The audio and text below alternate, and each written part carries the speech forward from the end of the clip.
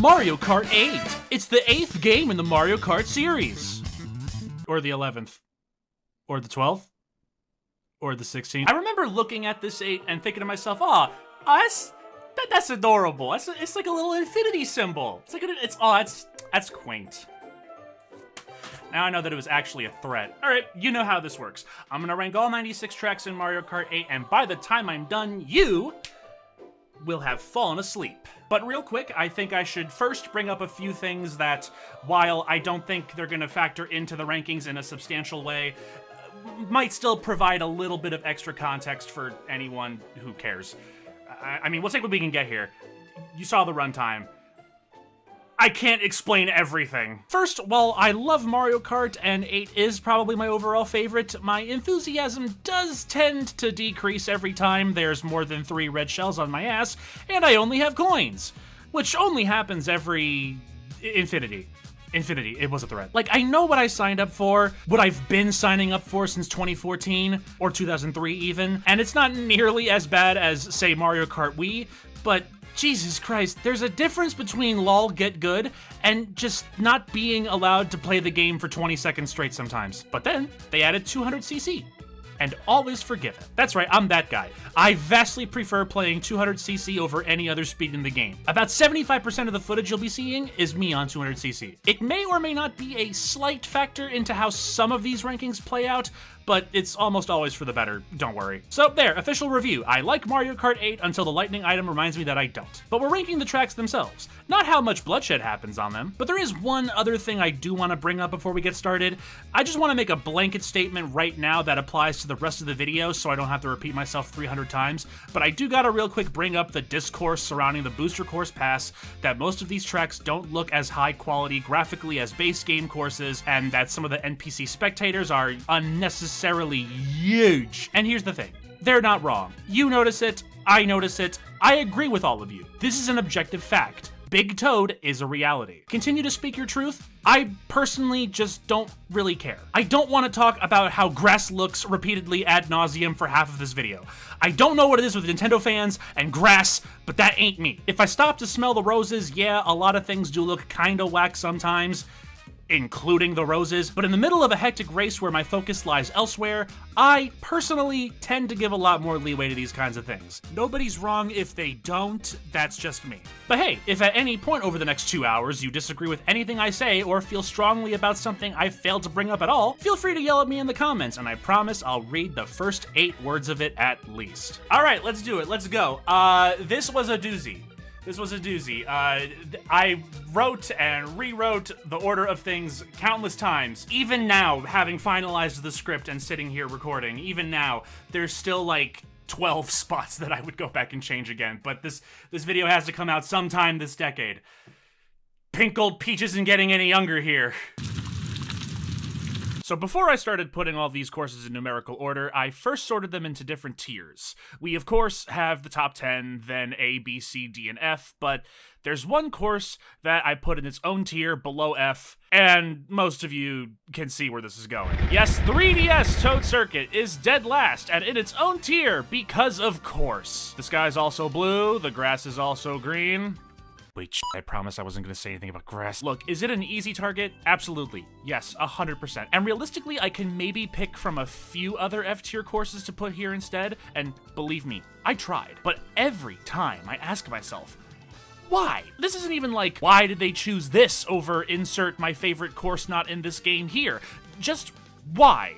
In general. And this is one of the headliners in the Booster Course Pass. Like, I, guess at least they got the worst one out of the way early. I'd probably be more flabbergasted if this was like Wave 4 or something, but still, they led with this. And the funny thing is, as a first track in Mario Kart 7 itself, I think it's a decently solid enough course. Like, the glider pad doesn't activate until lap 2, and so you could drive around the course once regularly before the game then teaches you how the gliding mechanic works. You get to soar over another part of the track you already drove past. I even think choosing to mushroom off this ramp or save it to cut through the pipes up ahead is also low-key kind of cool. Uh, like, there is a genuine argument to be made. This is one of the best first courses in the series if we're talking about their original first appearances. If we're talking about paid DLC that came out eight years later on another game, then uh, the only genuine argument is bass boosted Toad sound effects. All right, I spent two minutes on Toad Circuit and I have, uh, let's see, uh, 95 courses to go.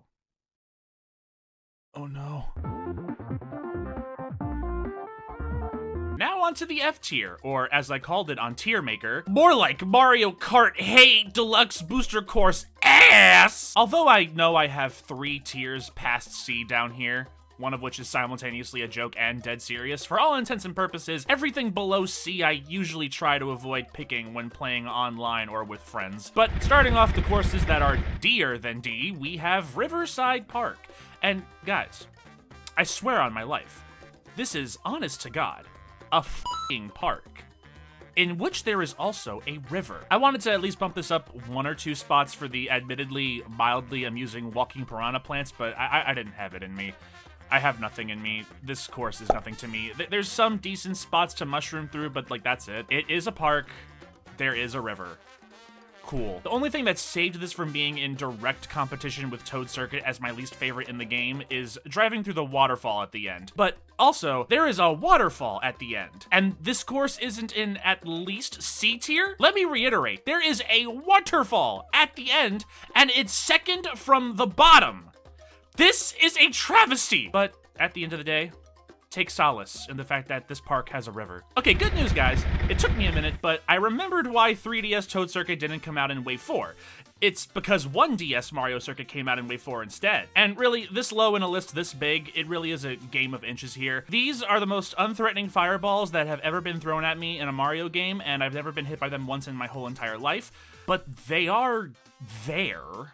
I guess. And cutting in between the trees of the mushroom is kind of neat, but uh, th that's all I got. Even going back to the whole first courses argument, I got nothing to say about this one. Let's uh, go somewhere else. Wait, no, not here. I meant let's uh, go somewhere that isn't a desert. Desert courses in Mario Kart games have an uphill battle a battle that they almost always lose. And it's not like I can't appreciate a good desert. Mario Wonder just came out, and that desert world might not just be my favorite Mario desert, but like the best world in that whole entire game. Even in non-Mario games, the desert's probably my favorite part of both Zelda Breath of the Wild and Tears of the Kingdom.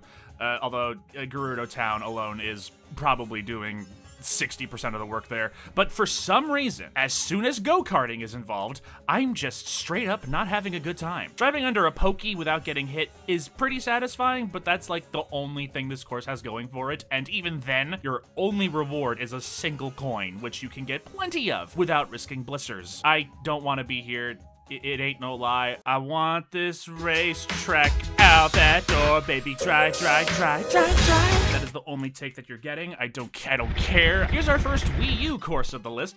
I almost always never care about what cups tracks are placed in, but the fact that the track before Bowser's Castle and Rainbow Road is Bone Dry Dunes, that is hilarious. And what a fitting name. This course leaves me bone dry.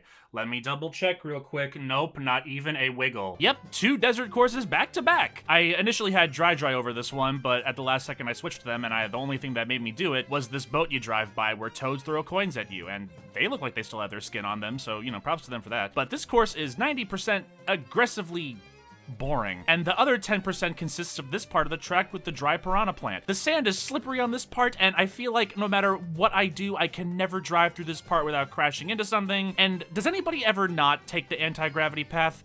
Uh, the only reason I have footage of the second path is I tried to get a little cute on 200cc and Lakitu put me down here for some reason. But uh, yeah, again, do people actually willingly not take this path? It's the only good part of Bone Dry Dunes, and ironically, it has the most bones in it. So it's been a while since I last played Mario Kart DS, and it's been an eternity since I played Super Circuit, and I didn't actively look up footage of this next course from either of those games while writing this video, so when I hear people say that this version of Sky Garden is a complete bastardization of those past versions, I can't directly comment on the validity of that. I want to focus on just the 8 deluxe versions on their own terms for the most part.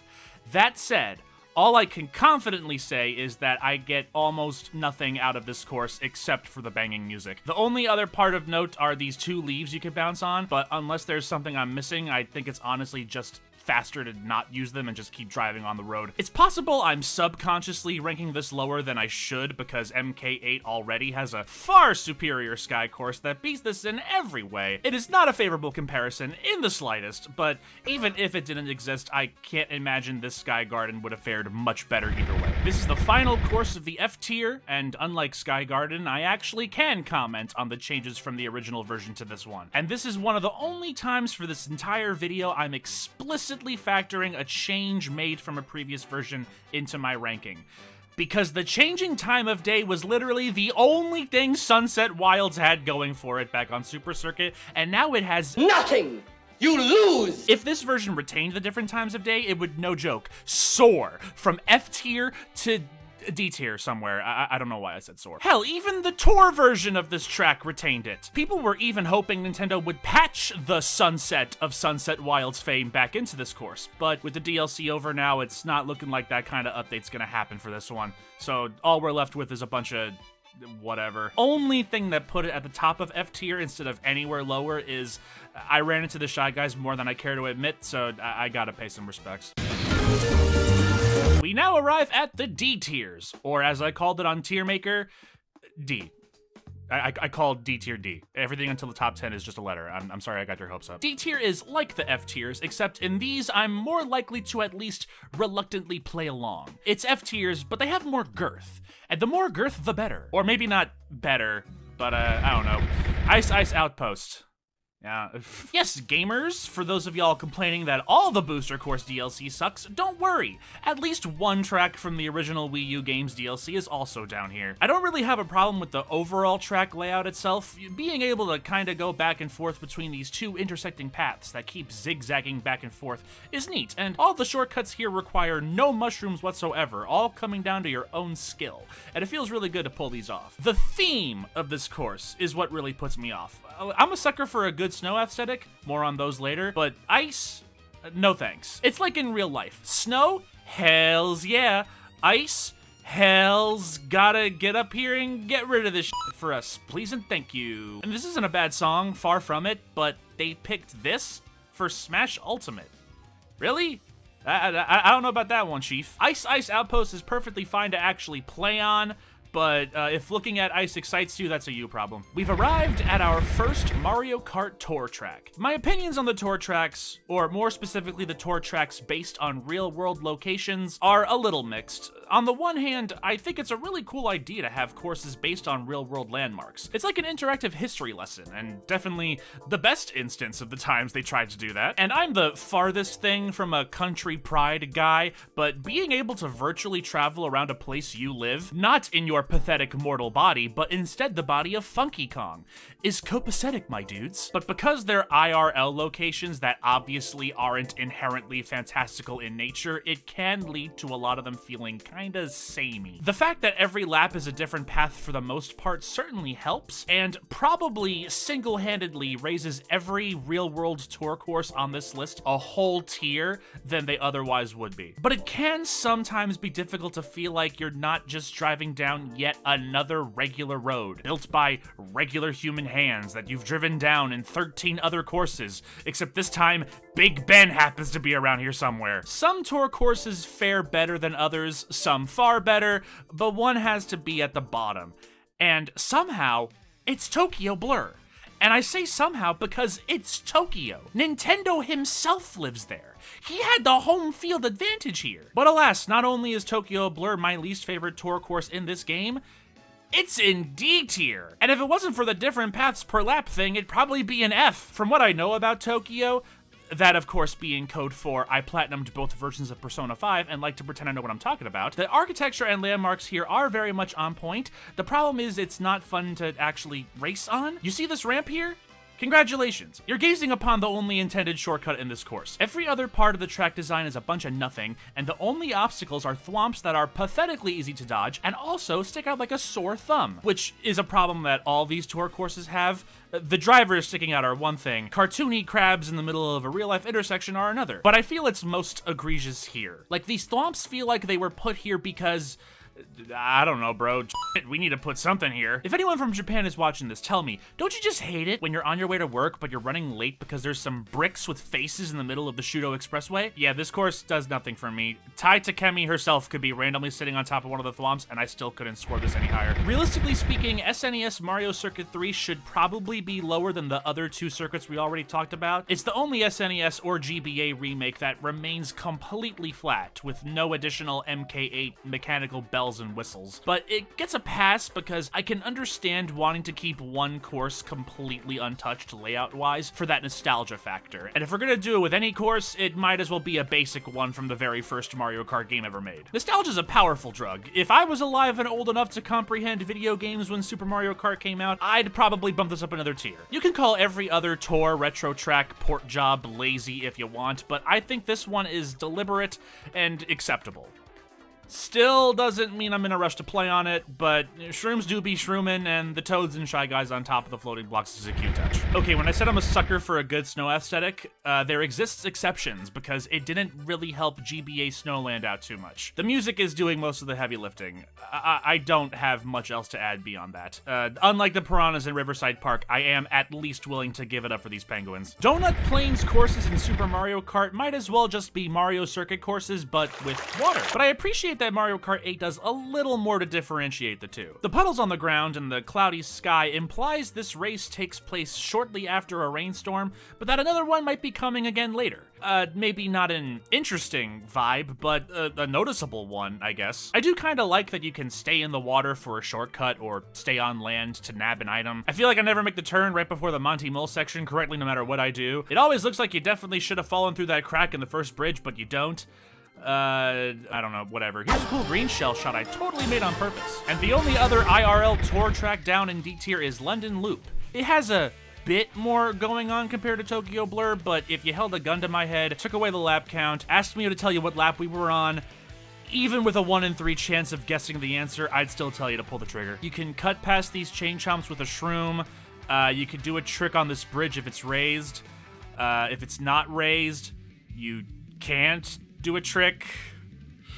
So don't even think about it, Buster. The music jumps this up a few spots, but other than that, I Lund don't want to talk about it anymore. Okay, this one barely missed C tier, and there's an argument to be made it should be up there at least, and I get why people like this course in general, but at least in Mario Kart 8 specifically, I'm sorry, I just don't really feel much of anything for DS Shroom Ridge. Of all the courses in Mario Kart 8 that involve dodging some level of traffic and even other traffic courses in this, I keep looking at the script while I'm talking.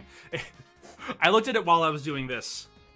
And I was like, yeah, I'm getting away with it. Even traffic courses in the series that aren't in this game. Out of all of them, I think Shroom Ridge is kind of at the bottom somewhere. I, I, I, get the appeal. I see the appeal, but I think for me personally, I think it boils down to two big things. The first being snaking, a drifting technique in Mario Kart DS. In DS, this was one of the best tracks for doing it. But that's something you can't really do this time around, at least not nearly to the same degree. Second, I have heard some people express that this course gives vibes and nostalgic feelings of times they went on road trips, perhaps driving on their way to a family vacation or something along those lines. A viewpoint that I can definitely see, but not one I can necessarily share.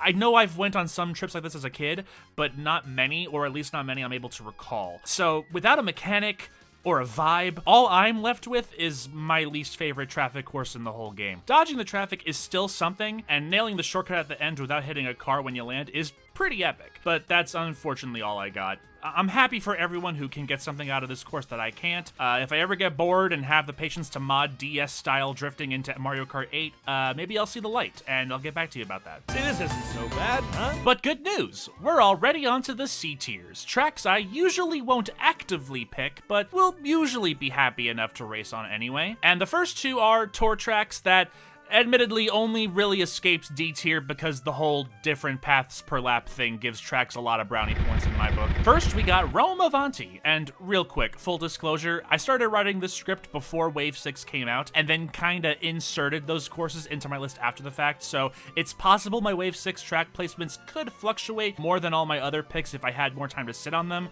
but uh, I'm pretty comfortable with this one. Any part where we're driving through the Coliseum area gets my stamp of approval, Uh, everything else is just fine. And Paris Promenade. Unlike every other IRL tour track, the first two laps are exactly the same, but then you go through the whole track backwards in the final lap, which is worth just as many brownie points, if not slightly more. And I kinda like that there's two separate paths near the Eiffel Tower you can choose from. One being slightly shorter but giving you no items, or the other being slightly longer but has boost pads and items. Though for a solid whole week after Wave 1 released, I thought the shorter path was a mushroom only part. Like, seriously, doesn't it look like you need to shroom over this part? But no, you could just drive over it, normally. Okay, um, a little weird. But the very first thing you see upon starting the race is the location of one of the best fight scenes in John Wick 4, so I will allow it. Another C-tier course that barely escaped D. I promise it's the last time I'm saying that. Excitebike Arena has a similar oval-shaped layout to Baby Park, except it's longer, and you can do a lot of tricks back to back which doesn't excite my bike as much as I'd like. I love performing tricks in Mario Kart games, and the layout of the ramps does slightly change every race, but it's not drastic enough to really make much of a difference, and no matter the layout, you perform so many tricks in one lap on straightaways with only two turns, and I just kind of go into a trance-like state on this course. Barely thinking, just timing my R button presses and dodging the occasional mud pile. That's about it. I think the only thing that saves this course from being down in D for me is the theme. If the theming was any different, we would be lower, but it's the theme is Excite Bike, right? Like mindlessly doing trick after trick on an Excite Bike course. It's like, of course all we're doing is tricks. It makes sense, like, like, like damn, bro, I, I can't argue that. All right, no more C tier, but actually D tier, but actually C tier. We are now confidently in capital T the capital C C another capital T tier. And I don't really have anything to say about Cheep Cheep Beach. It's fine. It's pleasant enough, and I like that you can take water shortcuts that obviously weren't possible on DS. Has anyone ever been hit by this Cheep Cheep after the boardwalk? I sincerely doubt it. My man's has a whole course named after him, and he currently has a 0 to 57 million kill-death ratio. Mario Kart 8's iteration of Mario Circuit was probably the best Mario Circuit in the entire series back when 8 first came out, but in hindsight, it was kinda carried by the anti-gravity mechanic. Once the novelty of that wears off, it's just kind of another Mario Circuit. And yeah, duh, Mario Circuits exist solely to be Mario Circuits, but still. The music for this is also probably my least favorite out of all the Mario Circuits. The live instrumentation that starts kicking in halfway through is fine, but the first half sounds like penis music. So yeah, not a bad course, just a Mario Circuit. A Mario Circuit with anti-gravity, but a Mario circuit. Shrooming around the pipes at the end and also hitting the glider ramp is pretty kino though. N64 Royal Raceway. Obligatory, they got rid of the castle Easter egg, which, while definitely charming, is not something I'm sobbing over. It would have been cool and novel for a while, but when I play online, I'm trying to throw hands and ruin marriages, not participate in a Mario 64 role-playing lobby. All that said, simple but enjoyable enough course. Despite not being called a circuit, it's a circuit in nature, but I like the aesthetics. At least as far as base game courses go, this is probably one of the more visually appealing ones. I'm a fan of the colors. Uh, purple's my favorite color, and pink's like a distant cousin of purple. I watched a Bob Ross video once. Also, you can barely hit this ramp without a mushroom on 200cc, so that's pretty cool. In spite of its low placement, I get why everyone loves Shroom Ridge despite me still placing it higher, I don't get everyone's love of Choco Mountain. Like, I don't dislike it. And by the way, I'm not just referring to the MK8 version, I'm also talking about back on 64 and DS. Like, what the hell y'all talking about when you say you could eat this course? If it wasn't for the fact Choco was in the name, I would barely be able to tell this brown is supposed to be chocolate. It's not like the boulders look like a Reese's Puff or whatever. It's a regular ass boulder. The course is overall kinda mediocre-ish in my eyes, but in complete fairness, while my heart is saying whatever, man, my brain is saying.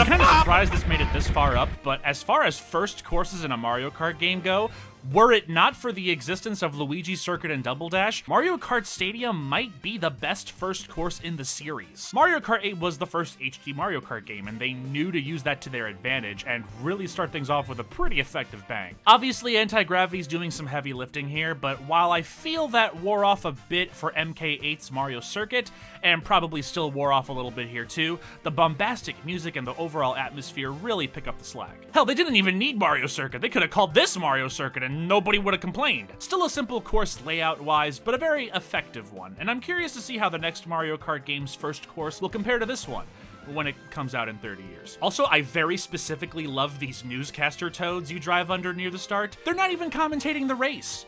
They're jumping up and down. They should be fired. Amsterdam Drift. Another simple but enjoyable enough course. I do really appreciate the color palette here. Any part of the track that isn't on a road but instead in a field is very pleasant to go through. Taking this boost in the water to reach a boat overhead for an item's pretty cool too. This is also probably the only IRL tour track where the enemies don't stick out like a sore thumb as much. I'm as surprised as you probably are when I say that out of every Mario circuit in this game, Mario Kart Stadium kinda sorta spiritually included, the GBA one is my favorite. Because at first glance, there isn't much about this one. And even though I have it ranked much, much lower, if you have DS Mario Circuit above this one, I wouldn't really blame you. But I am weirdly uh, obsessed isn't the right word, but whatever the slightly playing it up for a fun YouTube video equivalent word for obsessed is, with this pit stop area right by the starting line. For some reason, I misremembered every circuit course in GBA having one of these, but uh, no, just this one which is a crime. More courses need pit stop areas like this, where you decide whether to gun it for the next lap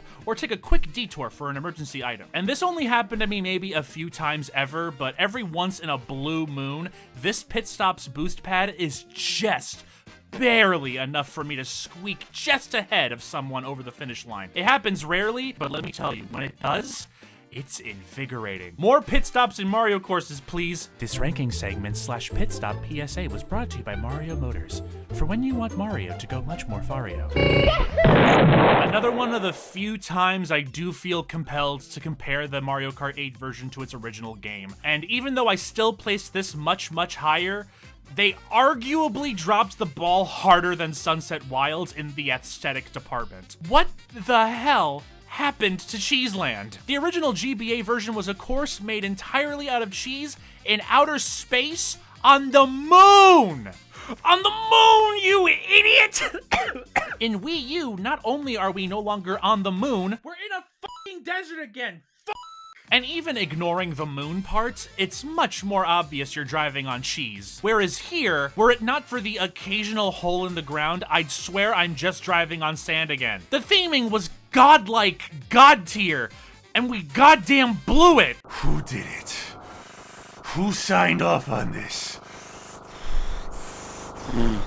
I just want to talk. All that said, still a decent course, and the cheese motif isn't completely gone. There are still some obvious parts, although I'll admit, it took me years to realize this rock formation in the background was supposed to be a pizza slice. And I gotta admit, when the stars align and you have enough mushrooms to be able to take both glider shortcuts back to back, that's that good Still though, it is disappointing. The original course theme in HD would have been awesome if they had kept the original moon backdrop, or at least, God forbid, literally anything else but a desert, I could see this one shooting all the way up to A tier on that alone. But for now, it's down in C. For Jeez. GBA Boo Lake is probably my candidate for best short, simple, sweet track in the game. Like, uh, really, if it went on for another 10 seconds, it'd be like 15 spots lower or something. But it doesn't overstay its welcome. You do a couple tricks, couple of turns that can be surprisingly tricky sometimes, do a quick underwater section, bada bing, bada boo, you're done. Short, simple, sweet. I really don't have a thesis on all of these. I am doing my best here. Bangkok Rush. You said rush. Anyway, this track is the worst in the game because the very first time I played it, this happened. Okay. Three, uh, less than three seconds. Already got hit by an item. Good start. All right, six seconds. All right, keep it up, keep it up. Big bucks, big bucks, no whammies. All right, nine seconds. Just keep. All right, and we're gonna restart. And we're gonna restart. I certainly got banged by something, all right, and it wasn't by the preferred option. This DLC sucks. Thanks for coming to the stream. Again, it is overall kind of simple like the other IRL tour tracks. However, there's more monuments and architecture here that I personally really dig. I also like these marketplace areas I can drive over, or in lap 3 bounce on top of. There's also this mushroom shortcut that I thought was surprisingly sneaky, and it took me a while to realize it was a shortcut. While you're gliding over and I had to look up what this was called. The Democracy Monument! I don't know why I find that name funny. I just, I, I saw it, and it was like the funniest thing I ever read for 10 minutes. I, I, I don't know. Anyway, after you glide over the Democracy Monument! Because who has time for democracy? I'm driving here. You can glide to the right over this fence post and mushroom over this grass area. I didn't think you could do this. I thought there was gonna be like an invisible wall here or something. So that's cool. Although immediately after that, there's these crabs, and this is the worst the already pretty out-of-place Mario enemies get. Here's the tier list. We got the moles and piranha plants in Amsterdam Drift, everything else, and the crabs in Bangkok Rush. And then also the Tokyo Blur Thwomps are still dead last. I lied. Also, one more thing, and I don't know how to put this into words. I I'm just gonna throw it out there and hope it makes sense to one other person besides me, but why do I feel like I shouldn't be allowed to drive up these stairs? Like, like, why does this feel like stairs Nintendo would block off as part of the background, but a mod lets me go up them? I, I don't, I, I don't know. I can't explain it.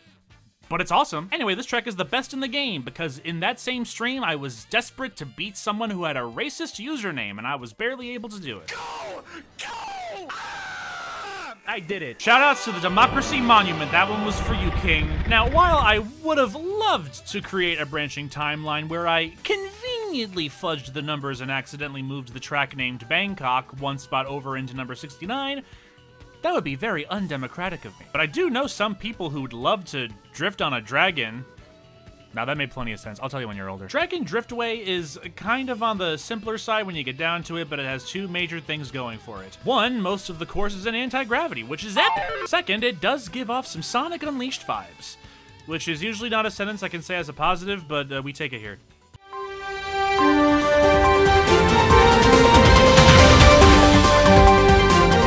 We are now a third-ish through this list, and we have arrived at the first course that was in my original top 10 list from like like 7 million years ago, and this track has fallen one, two, three, 64 spots. Even back when this game had a measly baby amount of 32 tracks, I, I, I don't know how it got this high. I, I'll be honest. I probably could have actually sat through and watched that old video, but no. I don't wanna. I can barely listen to myself talk now. You think I want to listen to 2014 Orange Chris? By now, you've either played Mario Kart 8 or you at least know what it is. Die.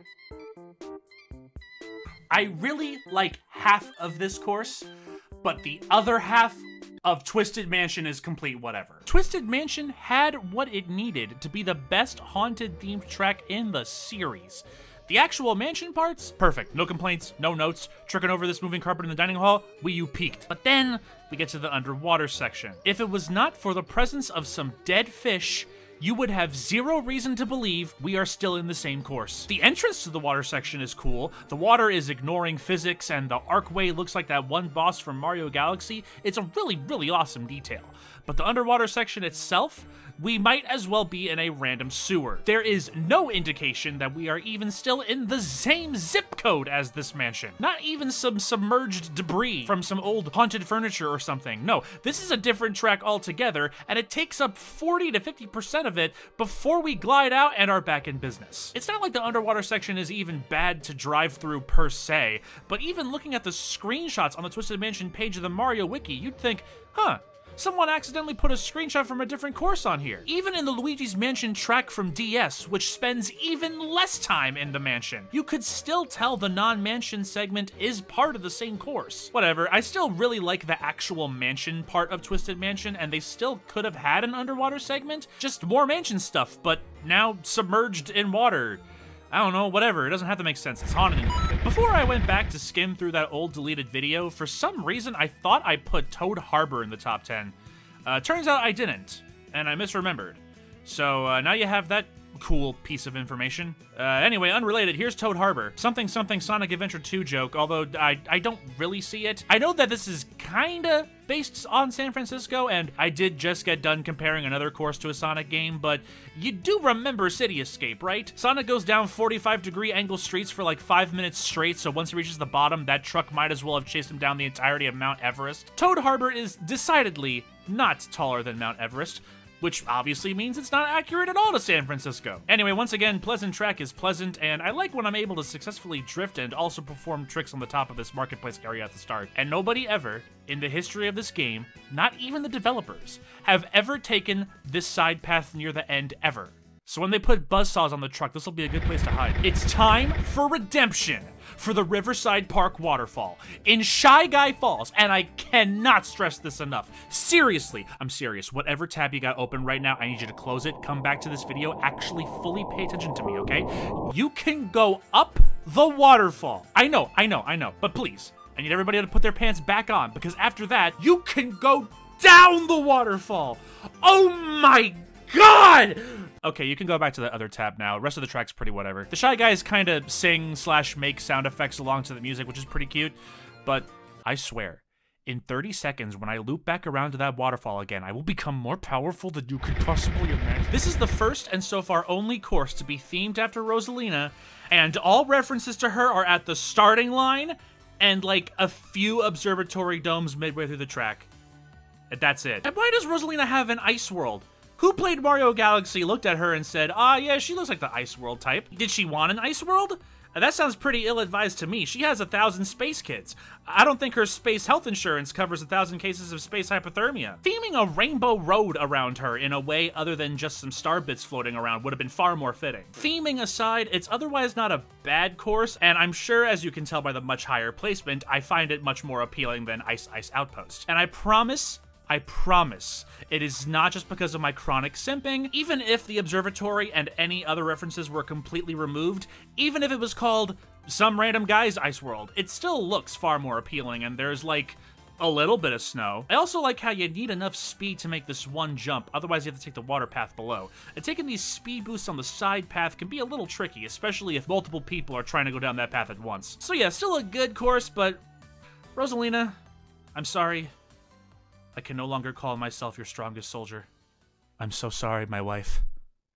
Please don't tell my wife. When this baby hits 88 miles per hour, you're gonna see some serious We are now at the B tiers. We still have about two thirds left to go, and we're already at the tracks I can definitively say I like and will willingly pick. However, like the start of C tier, we do kind of have to get through a couple of tour courses that technically only barely made it here, one of which is Sydney Sprint, which you already know is hard carried by that music. This is one of the best songs in not just this game, but Mario Kart as a whole. I don't think many are gonna try to contend with me on that one. This song needs to be in the next Smash Bros. for sure. Gliding into the Sydney Opera House and tricking on these ramps on the highway is pretty neat, I guess, but did you guys listen to the fucking song though? Tour New York Minute, which I promise is not this high just because I live in New York. This track is based in Manhattan, not the borough I'm from. And also, I, I don't not like living here, but you think I'm gonna brag about living in NY via a Mario Kart ranking? Oh boy, I love paying $3 and my soul to the MTA every day.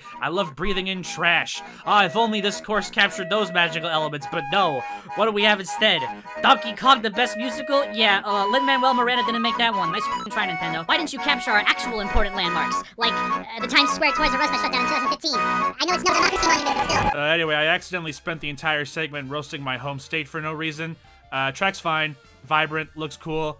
Uh, unlike in real life, your odds of getting mugged on this track are extremely minimal, so that's cool. But wait, we're not out of New York just yet. Now we gotta get on the Long Island Expressway, or as it's known by its more popular name, N64 Toad's Turnpike. Tomato, tomato. This course is chaotic. Like, maybe not chaotic like Baby Park, which suspiciously hasn't shown up yet. But like, I've had races where the cars mean absolutely nothing to me, and then I've had races where the invisible masses of oxygen that drive these cars become high priority targets on my rogues gallery more than the actual racers. I do kind of wish they didn't add these anti-gravity sections. Like, they're optional, you don't have to use them, but no, you get back down here and play in traffic like the rest of us. And why would I use them? If I did, I'd miss my opportunity to take this glider ramp over the bridge.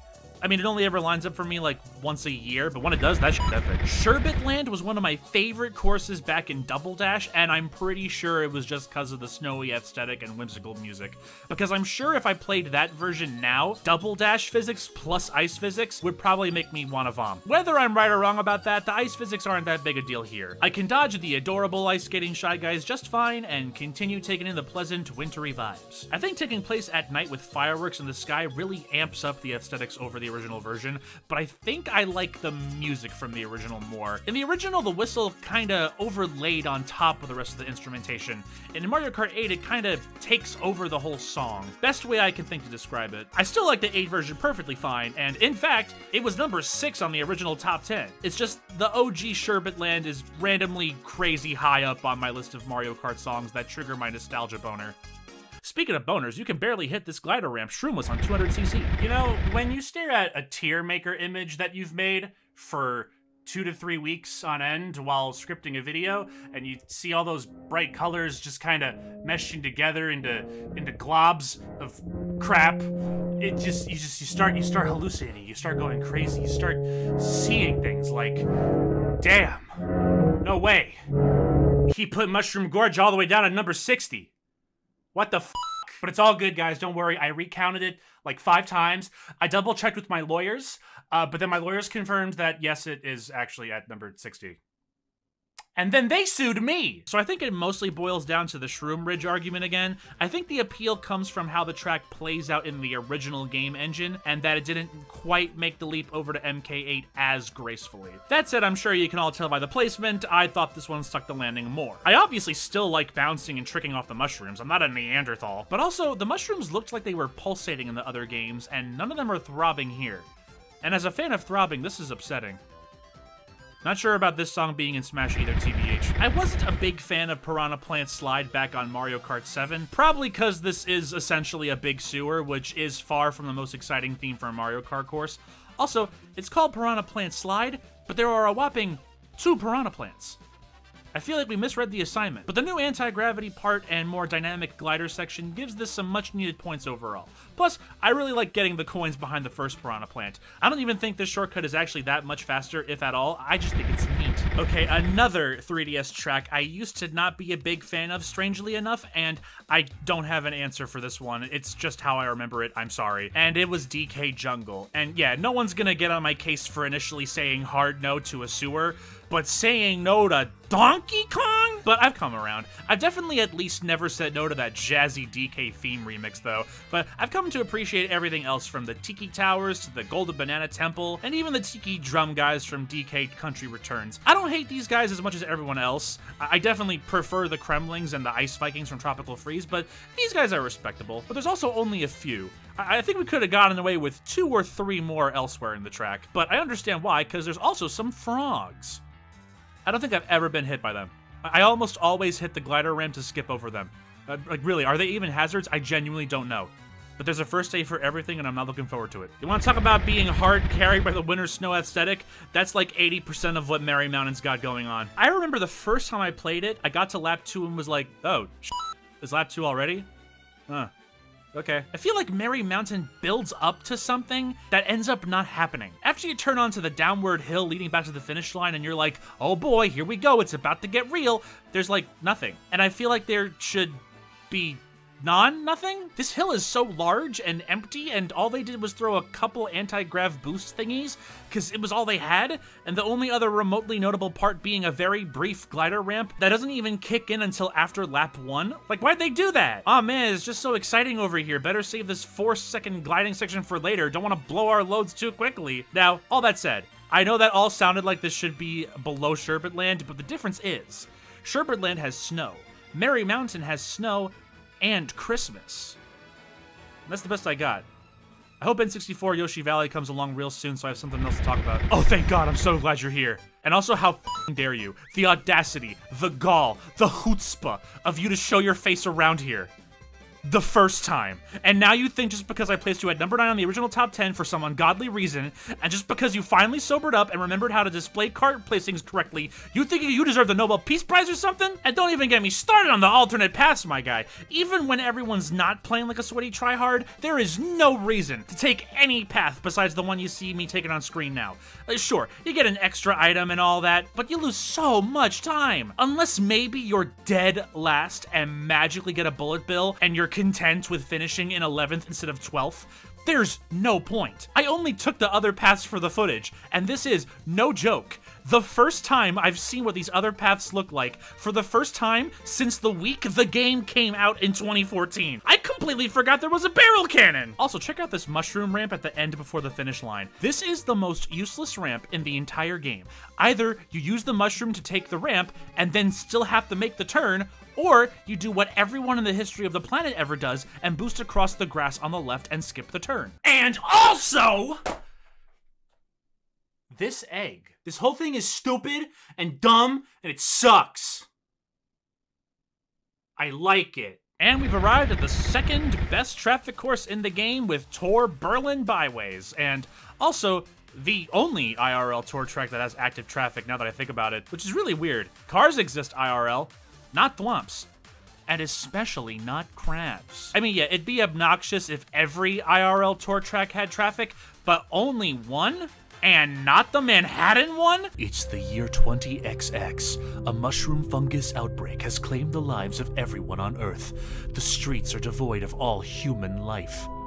Except in Germany, they're chilling over there. So much chilling, they had time to make this sick beat. Like, Sydney Sprint probably still takes it, but I flip a coin most days. But we gotta talk about my favorite part of this track. I keep talking about how most Mario enemies are out of place. This is out of place in the best possible way. The Thwomps at the Berlin Wall, which uh, I, I, don't know how ethical the phrase my favorite piece of revisionist history is in most contexts, but this is it. Ah, I remember the fall of the Berlin Wall like it was just yesterday. I remember it clearly. Reagan said, Mr. Gorbachev, tear down this wall. And then the German border troops employed by King Koopa said, I'm glad Mario Kart Tour finally answered the age-old debate of who'd win a death battle between Bowser's army and the Soviet Union. Also, you can trick off the Thwomps. So you know Soviet Union 2's never coming out, baby. So not gonna lie, uh, I really wanted to give all the tour courses their due diligence and not just immediately write all of them off like some people do. And uh, admittedly, I might have gotten a little bit lost in the sauce, and I think Los Angeles Laps might have snuck up a little bit higher than I wanted it to. But again, I've already rewrote this list like 412 times, so uh, I'm, I'm gonna I'm gonna go ahead and admit defeat on this one. But I by no means think it's bad. I do really like this track. At the very least, I can say I have it one spot above Berlin because you can barely take the glider ramp in the oil field without a mushroom, even below 200cc if you angle it right, which feels really good to hit. And we get two more items during the glide? Yes, please. If I could get bonus items for popping a wheelie off the goddamn Berlin Wall, that should be in like A tier easy. Although yeah, let's talk about that oil field for a second. Like many of you, I too was confused. This is an LA landmark? For real? And yeah, I looked it up. The Inglewood oil field. Yes, indeed. But, uh, I don't know, maybe we could have skipped this one? Kinda a bit of whiplash after coming off of sunny beaches and gliding over baseball stadiums. Like, maybe we don't need to hit every landmark, you know? I mean, again, the glider ramp and a double item combo, I'll take it, but still. If they really wanted to be accurate and get the real culturally significant landmarks in there, they should have replaced the oil field with a poorly, criminally unregulated foam pit that barely has any foam in it. And when you drive over it, your cart explodes. That would be more dangerous than Rainbow Road. I feel like I'm mostly resorting to terrible jokes to carry us through a lot of these segments. Except the Mario Motors one. That one that one was a banger. I'd put that on my fridge. Even in a normal sized Mario Kart ranking, I'd be struggling a little bit. Like, I, you want me to find 95 different ways to say, here's why this course is better than 3DS Toad Circuit? I don't have a Babbel subscription! But all jokes aside for a second, I really wanted to get to the bottom of this question. Do I actually like Kalimari Desert or not? Quick backstory, back in college, before Mario Kart 8 came out, me and a couple of my closest friends played Mario Kart 7 online often, and for some reason, there was a running joke where I absolutely despised Kalimari Desert and one other course that we'll talk about later. Because of this, naturally, they picked these two courses to race on over and over every chance they got. And I only remember this because to this day, one of them brings it up every other time we hang out. I can barely remember what I had for breakfast this morning, and she quotes random crap I've said in YouTube videos from a decade ago. Anyway, Brittany, I don't hate Kalimari Desert because you keep picking it over and over and over for some dead bit you weirdly remember that I don't. I hate it because it's a desert. But then, I like it because of a train. This train makes or breaks people's desire to play this course. The people who like this course frequently avoid the train. The people who hate this course frequently get held up by the train. And there is no in between. Life in this desert begins and ends with the train. And yeah, if it was the same as N64 and 3DS, it'd probably be back down in at least the lower half of C tier, but the first time I played this version of the course, getting halfway through lap 2, getting to that ramp that suddenly shows up out of nowhere, and getting that feeling of, oh, we're really doing this. It's incredible. Being able to drive on the train tracks is the glow up of the century. And this has the added benefit of meaning you only really usually have to worry about getting 100% held up by the train on lap 1, since after that, you usually have options of avoiding it that don't involve just coming to a halt. But it still poses a reasonable enough threat. The only thing that would make this course even better is if we were on a moon made of cheese. Then Brittany can vote for it as many times as she damn well pleases. As is, she may vote for it sometimes. Sometimes. And coming up, we have another course from my original top 10, originally at number 10. We have Water Park. It doesn't even belong to anybody, it's just a water park. It was obviously between an ice world and a water park. Rosalina got a bad deal, I'm just saying. Anyway, not much to say on this one. I feel like any kind of amusement park theme track is just automatically a win. Bonus points, that's a water park. Also on 200cc, you go so fast in the gliding section, you can clip through the Ferris wheel, and I do it every single time. I can't get enough of it. And like the 10-year-old within me, my patience with the length of this list is at an end. But that's okay because we're almost done. But first, I'm just dying to talk about Rock Rock Mountain. The team who was in charge of naming this track were dying to talk about it too. They had multiple conference meetings talking about it. One of them famously said, uh, I don't know, it has a rock, like at least two of them. Yeah, if we were going on theme alone, F tier, easily. But man, when we really get down to it, those gliding sections are pretty cool. And oh, the one after the cave, if the stars align and you have at least a triple mushroom, or even better, a star, you can glide all the way over onto the grass, use them, cut through so much of the track, it feels cathartic. So we got an A tier layout and an F tier theme.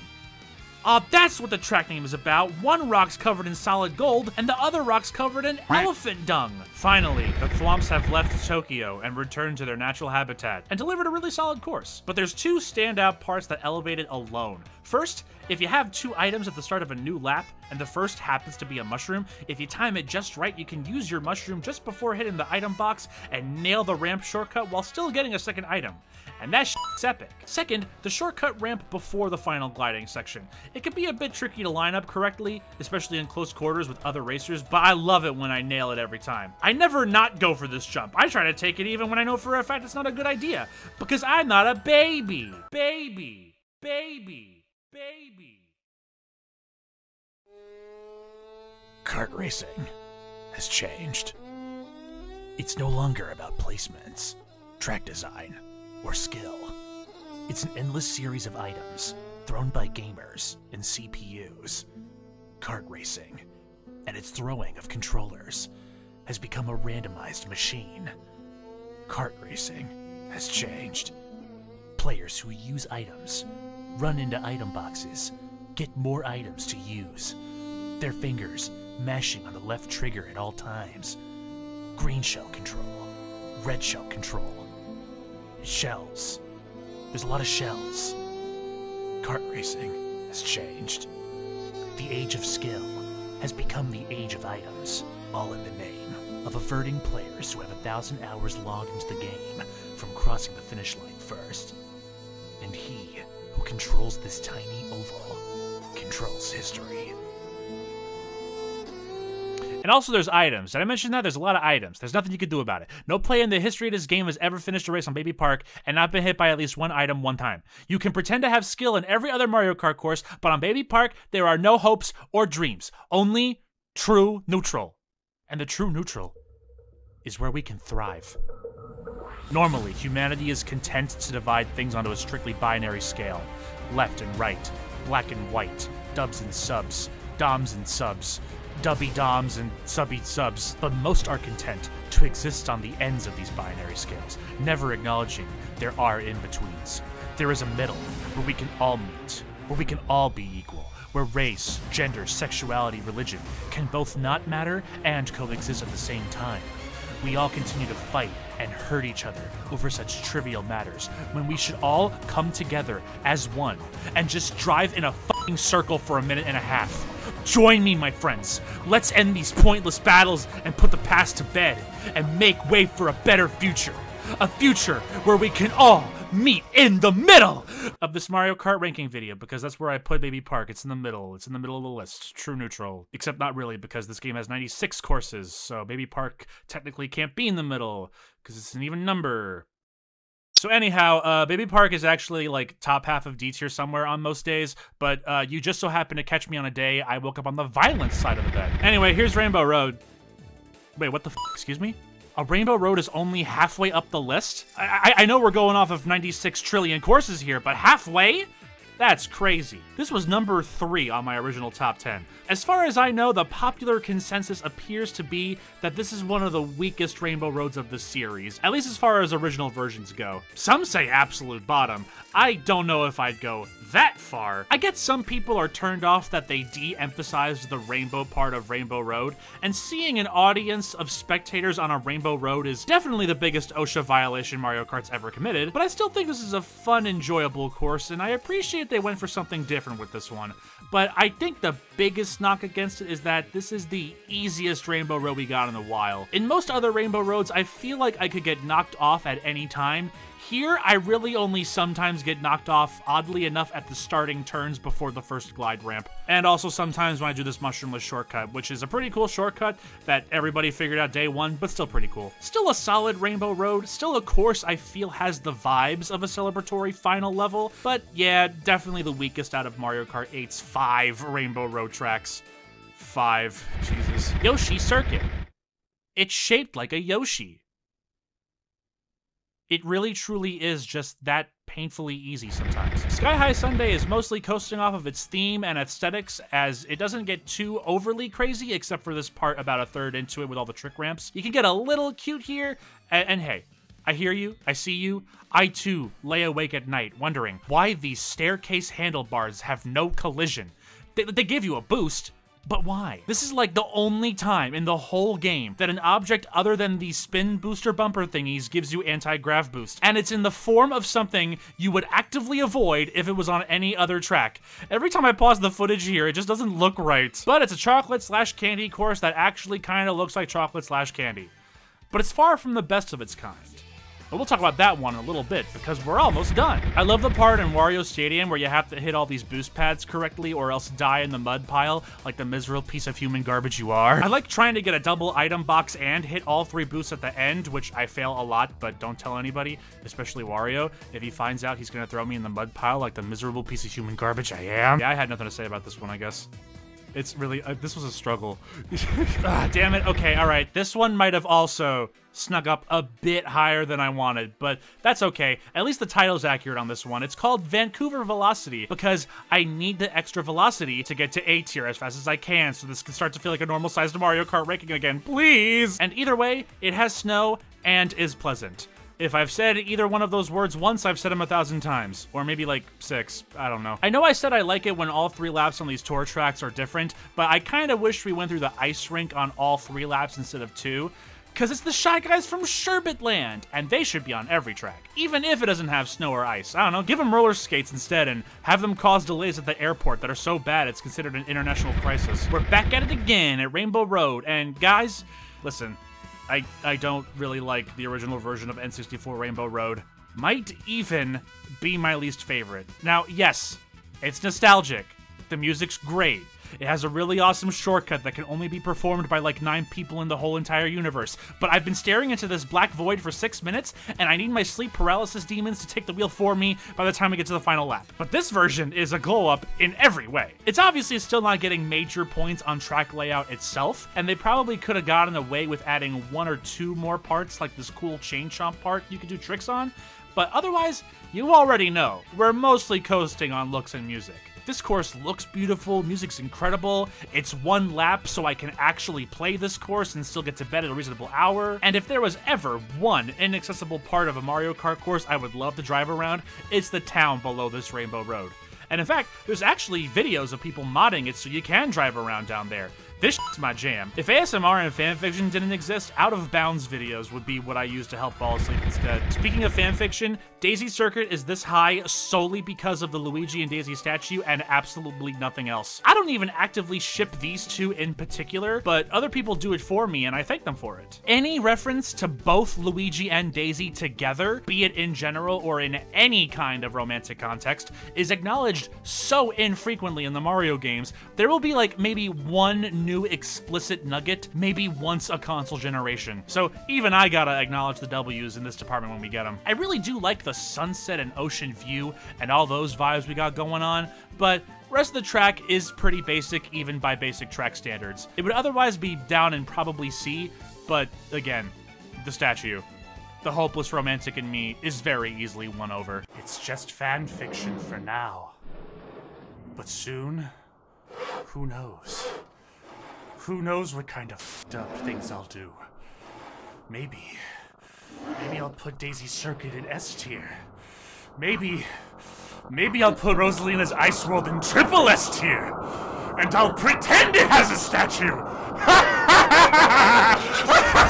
There's two music-themed racetracks in this game. One of them I like better in terms of aesthetics, while the other's more fun to actually race on. 2014 Chris would probably have the two swap places, but 20 whatever godforsaken year it is right now Chris has to take everything into account as best he possibly can, so Electrodrome loses to Music Park. But for real, theming alone, definitely gotta be in the top 10 somewhere. Like, do I really honestly need, need to say anything specific? You have eye holes.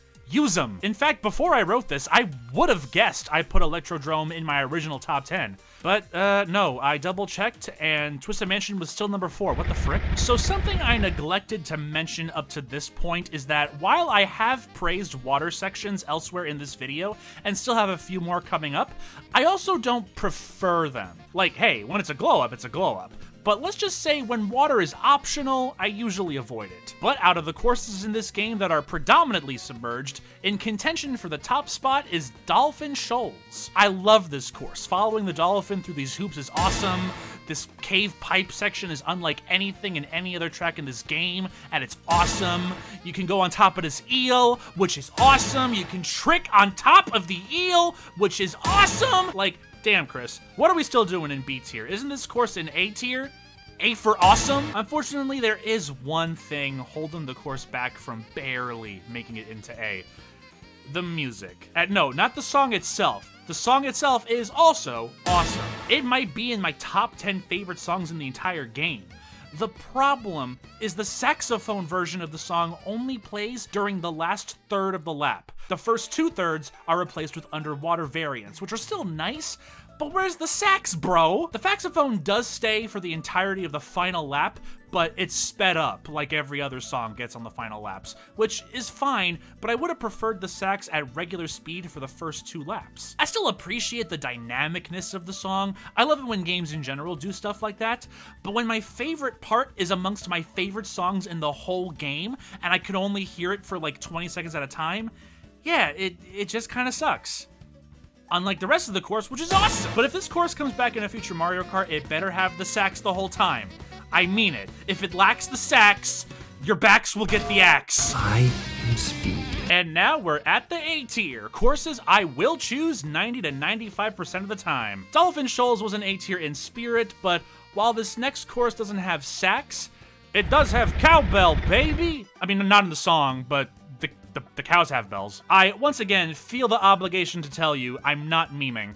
I promise the only placement I deliberately botched as a gag was Baby Park. But I really do like this course. The song here is like simultaneously a post, but also like a really banging post, dude. And these cows care not for your welfare. They'll play nice on lap one until they remember they literally own the joint and start heading onto the track on lap two and it's the most unceremonious thing ever. It's not like they have a grand entrance, they just casually stroll over, taking their sweet ass time, and will not react to you whatsoever, even if you crash into them. You are nothing to these corporeal beings. And I don't know if it's because I'm losing brain cells roughly 12,000 words into this script, but it's one of the funniest things I've ever seen in a Mario game. I don't have much to add about the rest of the track, but it's a short and sweet romp that I really appreciate. Okay, cards on the table. I had to rewrite this segment on Tour Athens Dash twice because I came off as an idiot who thought Athens wasn't a real place.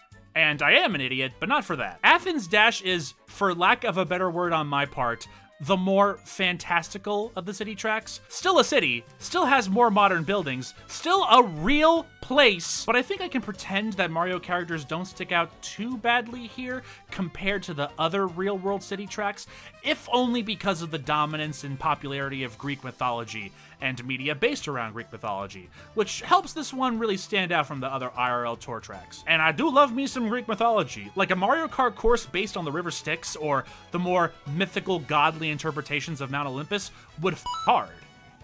Like Zeus. I did hear the tour version of this course had a cannon that was replaced with a regular glide ramp, so, you know, low-key boo to that. And the tour version also apparently had thwomps present here, uh, this would have been the one course I wouldn't have inherently minded seeing Thwomps in, and this was the one they chose to take him out of. But whatever, I heard about that at the last minute, so I just wanted to bring that up for funsies. This is a cool track based on a cool place that is real. Scout's Honor. Uh-oh, Chris put a tour track way higher than he intended for the third time in a row. No. No, I didn't. Not, Not this, time. time. I know why I put Madrid Drive as high as I did. More than Sydney Sprint. More than Berlin Byways. Madrid Drive's music is exactly my jam. Backstory time, I vividly remember the first two pieces of mainstream music I ever listened to. And when I tell you what they are, for the love of God, do not ask me what I was doing listening to these two songs at the age of five or six. I could not on my life possibly tell you why. But the first two non-video game songs I ever heard was Baby One More Time by Britney Spears, and the more relevant one to this discussion, Bailamos by Enrique Iglesias. Again, I don't know. Gun to my head, I, I cannot answer on behalf of six-year-old Chris. I will not be able to give you an answer. I don't know what he was doing, but regardless, ever since that day, I've been a complete and total for Spanish instrumentation and percussion. It's like a cheat code to my ears. I, I can't help myself. If there's Spanish instrumentation somewhere in that, instant 10 out of 10. If a girl comes up to me and whips out some castanets, I instantly get pregnant. Espanol? More like Espanol! That's it. That's why the course is this high. I meant it when I said I'm factoring in everything with these rankings, because the majority of the rest of the course is just fine, probably would otherwise be bottom of B, top of C somewhere, though driving through a stadium is infinitely cooler than flying over a stadium.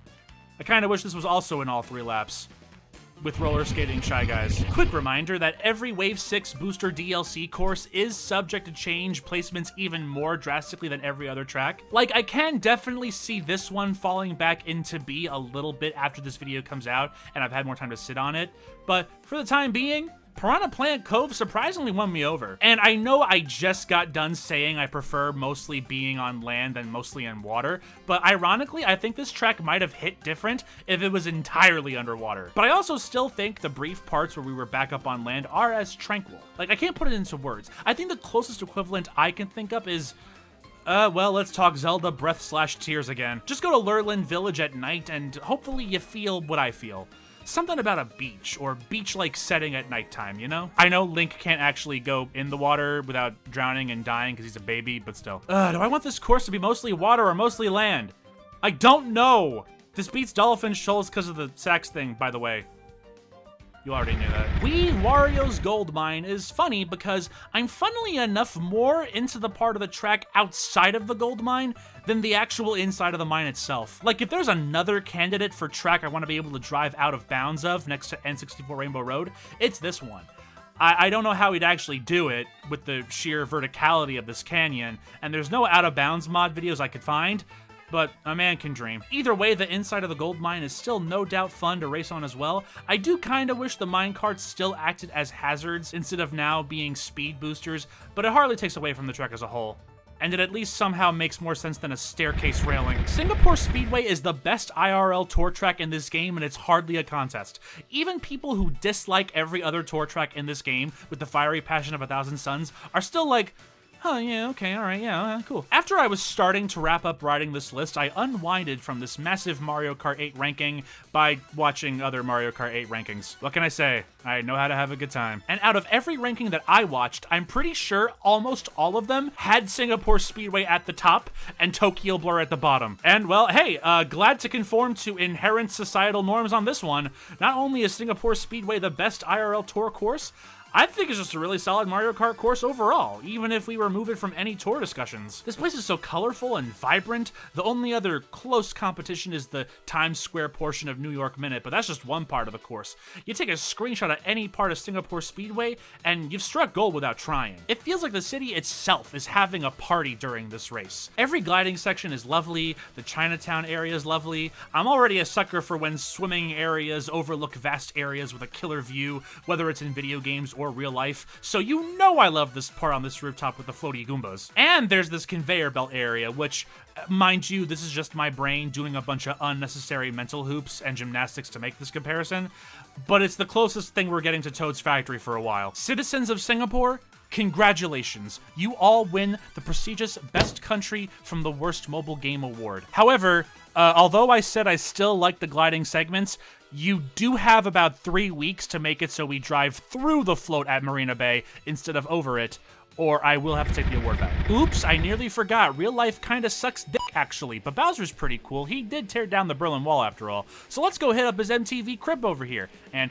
uh, not gonna lie, excluding the flat SNES and GBA Bowser's Castles, uh, Mario Kart 8's Bowser Castle might be second from the bottom compared to other Bowser's Castles, only beating sevens for me. But hey, it says a lot that a Bowser's Castle low on one list is still good enough to be in the A tier top third of another list. My only minor gripe is that in the heat of the moment, it's sometimes a little difficult for me to see this swinging spike ball past the triple fiery bars in front of it. And by the time I dodge the fire, I have next to no time to dodge once I can clearly see the spike ball it can get a little dicey here. But what I can call potentially slightly unfair, Bowser can call waking up on a Monday morning, so he gets a pass. Everything else, I mean, you already know what we got going on here. You got the great Bowser music, you got the great Bowser statue section, that still doesn't beat Wii's, but it's still good. You're entering the front door, you haven't even had time to take off your shoes yet, and the motherfucker's already firing lasers at you. Even the aesthetics of the starting line are metal as Like, you don't need me to tell you this track's good. You know it is. Let's move on, because we're almost done. If I keep saying it, it'll be true eventually. And I mean it. It will be true eventually. Because we are now at number 32, which means, after all this time, this is now finally a regular-sized Mario Kart ranking video. Yes! DS, Wii, 7, 8. All of these had 32 tracks. But then 8 got a little cute, a little frisky. And then 8 asked if they could, and not if they should. But we've returned to what we've celebrated as the holy number since 2005. And hey, let's pretend for a minute that Mario Kart 8 came out on the Wii U, and that was it. No DLC, no deluxe, no booster course pass, no tour even. Mario Kart 8 came out on the Wii U and that was it. If, in this reality, Mario Kart 9 came out on the Nintendo Switch family of systems and was an original, regular-sized Mario Kart game with 32 tracks, and these next 32 were the tracks for it, I would be perfectly happy. I would have no complaints. I mean, the retro to new track ratio would be a little bit kerfuffled, but I otherwise would not care. Some people would care, though, because this would mean that Neo Bowser City barely made it. Anyone who has this course down in D tier, continue to speak your truth. The layout is not winning awards. The Koopa Clown Car Wind is the only shortcut, and it's not even good. The music for this dystopian future city that Bowser conquered is a remix of the theme of circuit courses in Mario Kart 7. Like, Bowser took over the world, could have any theme he wants, and said, yeah, the basic circuit theme of my eternal rival was fine. But I need you guys to know what I love. What I love more than snow, more than waterfalls, more than saxophones or Spanish guitars. Oh. I felt the baby kicking. I don't think it liked that last thing that I said. More than those three other things, I love rain. I am all about the rain. Bowser took over and he was slacking on the theme song because he spent his time and energy building a weather machine to give us 24-7 rain so that we all had an excuse to stay in and listen to lo-fi beats to study slash hail Bowser 2. More courses need rain. We so rarely get rainy courses in the entire series. Like, the only other ones I know off the top of my head are Luigi Circuit on GBA, uh, the inside of the storm clouds on Cloud Top Cruise a little bit, and then this one, and that's it. It's an outrage! Remember when we were talking about Donut Plains 300 years ago and I said it looked like it rained before we started racing? Well, it's raining during the race now. Donut Plains wishes. Maybe if the rain in the plane stayed mainly in the in the plane, it would be all the way up here instead. No, it wouldn't. It wouldn't be up here instead. Look, the remaining 31 courses are good. I promise. Everybody likes them. Nobody will argue with me. Nobody. I'll at least talk to Bowser about the music. He'll get back to me later. It's time for me to play devil's advocate for Koopa Cape. Like, I, I haven't been doing that for other courses for at least a quarter of this list. On the one hand, I think that removing the electrical wheels from the tube section isn't a super duper bad thing. Like, we're in a game with 12 players and everyone behind me has 50 red shells at all times. Dodging those wheels on top of an obnoxious amount of players and items it might have been a bit much. But on the other hand, I don't like that there's virtually no obstacles down here at all. Even 7 and Tour at least had Cheep Cheeps as replacement obstacles. Also, on the one hand, it inherently makes sense to make this an underwater section, but on the other hand, I liked the idea of being able to have an underwater section that we still regularly drive through. I still like the tube section and think it's beautiful, I don't not like it, but instead of too much challenge in the tube, we instead have no challenge in the tube. And it's another one of those instances where it's hard for me not to take the past into account. Other than that, Still Koopa Cape. The river is legendary, and it ends with going down a waterfall, baby! See, I told you you were gonna like these courses. Shut up. Peach Gardens from DS was a course that I've always liked, but never went absolutely insane over. And much like Koopa Cape, this version was simplified a little bit, but it's not nearly as egregious. However, that same feeling I got when the game suddenly and unexpectedly directed me onto the train track in Kalimari Desert came back again here in full force. Yeah, have you guys guessed by now I never look at the minimap? Although even then, I should have known something was up. I, I guess I just drove right past these arrows and said, yep, nothing to see there, you got it, boss. But lo and behold, we get to lap three, and we're now going through the course in reverse and gliding over this huge part of the track we drove through previously. It's so cool. I found out nearly every course in Tour has a reverse version, but in Mario Kart 8 specifically, this and Paris are the only two courses to do something like this. And yeah, it would be obnoxious if every course forcefully did something like this for every final lap, but driving through courses backwards is awesome, okay? I don't make the rules. Don't act like you didn't boot up time trial mode as a kid just to see how many tracks you can make it through backwards. I really think they should consider adding reverse courses in the next Mario Kart that isn't Tour. Like, yeah, it probably wouldn't work as gracefully on some courses. Courses with huge gaps would also need some creative liberties aka a buttload of ramps, but come on, mirror mode? Boring. Reverse mode? Sign me up. Thank you, Peach Gardens. I'm gonna go get reverse mode passed in the Senate. I'm sure they're not doing anything better right now. Wario has made three separate attempts at a stadium-themed track, Waluigi nailed it on the first shot. A character's association with a track's theme can sometimes be a bit tenuous, but this one's perfect. I can't think of two things that go together better than Waluigi and Mud Pits and you can interpret that sentence however your heart desires. This is just a fun course. Everything is fun. The tricks, dodging the fire, tricking off the half pipes around the giant fake piranha plants, and I adore these new anti-gravity ramps you can land on if you hit the half pipes just right. I think even if you believe glider and anti-gravity segments can feel needlessly shoehorned into retro tracks sometimes, I think you gotta give it up for them this time. The only thing this course is missing, and the only thing that the second and only other Waluigi Stadium from RKGP2 has over this, is robotic dinosaurs. Nintendo, next time you bring this course back, just add the robot dinosaurs. You did this to yourself. You could have named that arcade course anything you wanted. You named it Waluigi Stadium as well, so I want the dinosaurs. If I asked Waluigi, he would agree, so just do it. Thank you. Number 7 from the original top 10 and probably at least 50% due to aesthetics, Sweet Sweet Canyon. It's probably still 50% looks, but no one's gonna blame me. Way more than Sky High Sundae, way, way more than Choco Mountain. I am here to absolutely consume, devour, ingest, guzzle, swallow synonyms this entire course. The donut tunnel, the wafer windmills, the entire audience. Like, damn, hey girl, you playing Mario Kart? Cause you got a sweet, sweet canyon. She. That's a freebie if anyone wants to get punched in the groin. I will admit I could take or leave the underwater segment. It only lasts a couple seconds, and I know it's supposed to be orange soda, but I feel like the orangeness could have been way more pronounced. If anyone thought this was supposed to be regular water, I couldn't blame them. But the only other alternative would have been driving through a Willy Wonka chocolate river, and uh, yeah, uh, I can see why they don't want to make an underwater section brown. So, uh, orange soda it is. But again, it's only a few seconds which is approximately how much longer the audience has to live. I can maybe see why someone wouldn't like Hyrule Circuit too much if they weren't a Zelda fan, but I am a Zelda fan, so I'm contractually obligated. Look, I hear the Zelda music, my ears go burr. I see the coins replaced with rupees, my eyes go burr. I hear the treasure chest music while the items roulette is spinning and the da na na na and my ears go burr again.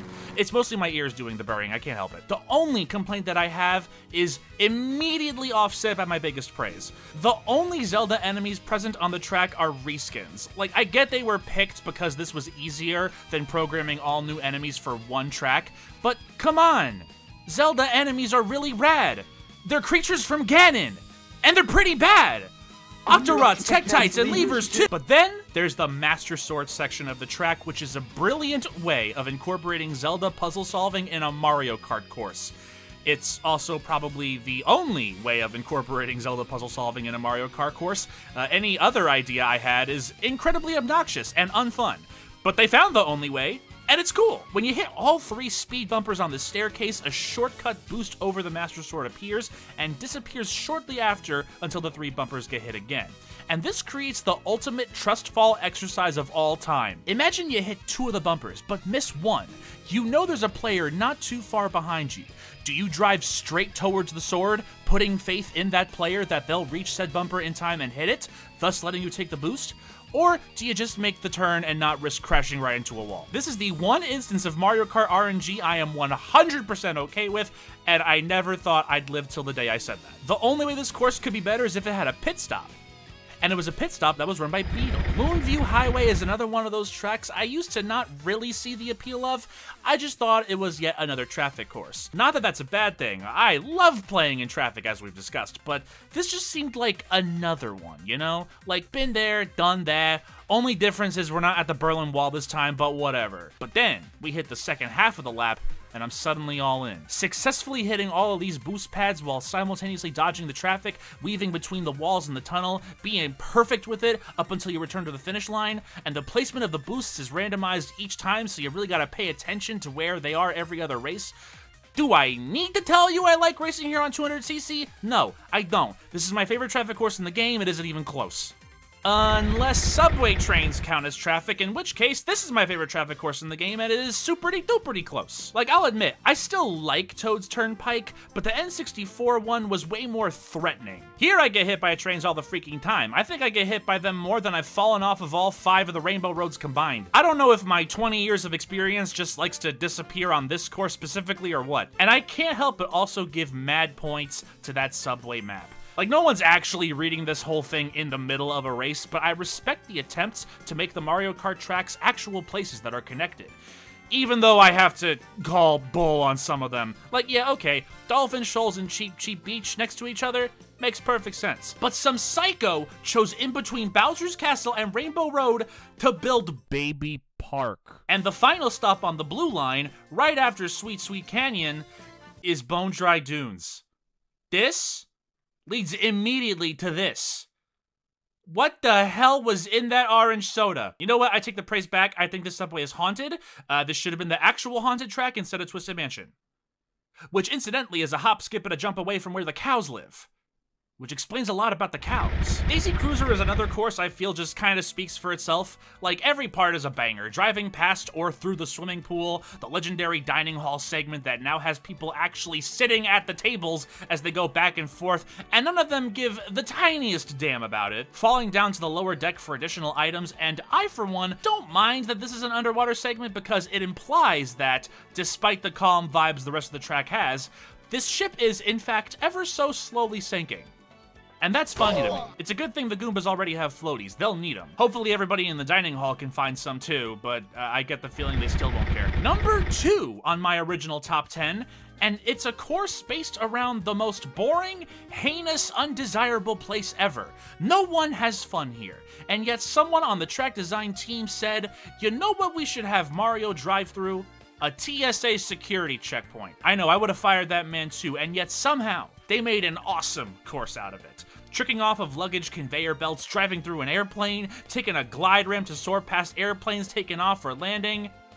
Do the airplanes count as traffic? Mario Kart 8 for the Wii U family of systems and Mario Kart 8 Deluxe for the Nintendo Switch family of systems really makes you feel like a little airplane boy. And Sunshine Airport was the first to do that whole wider connection thing with the tracks before Super Bell Subway did it too. Except this time, they're not trying to gaslight me into believing that these two share a zip code. On that same note, I also gotta give it up for the airport intercom messages, which I knew existed, but because you could only hear them in one part of the track and likely won't hear them over the music and other sound effects, I never knew what they were saying until I finally looked them up during the making of this video. But now that I have, I now know that the reason Birdo wasn't in Mario Kart 8 initially is because her flight got delayed for 3,206 days. Passenger Ms. Birdo, please proceed to the information counter on floor two.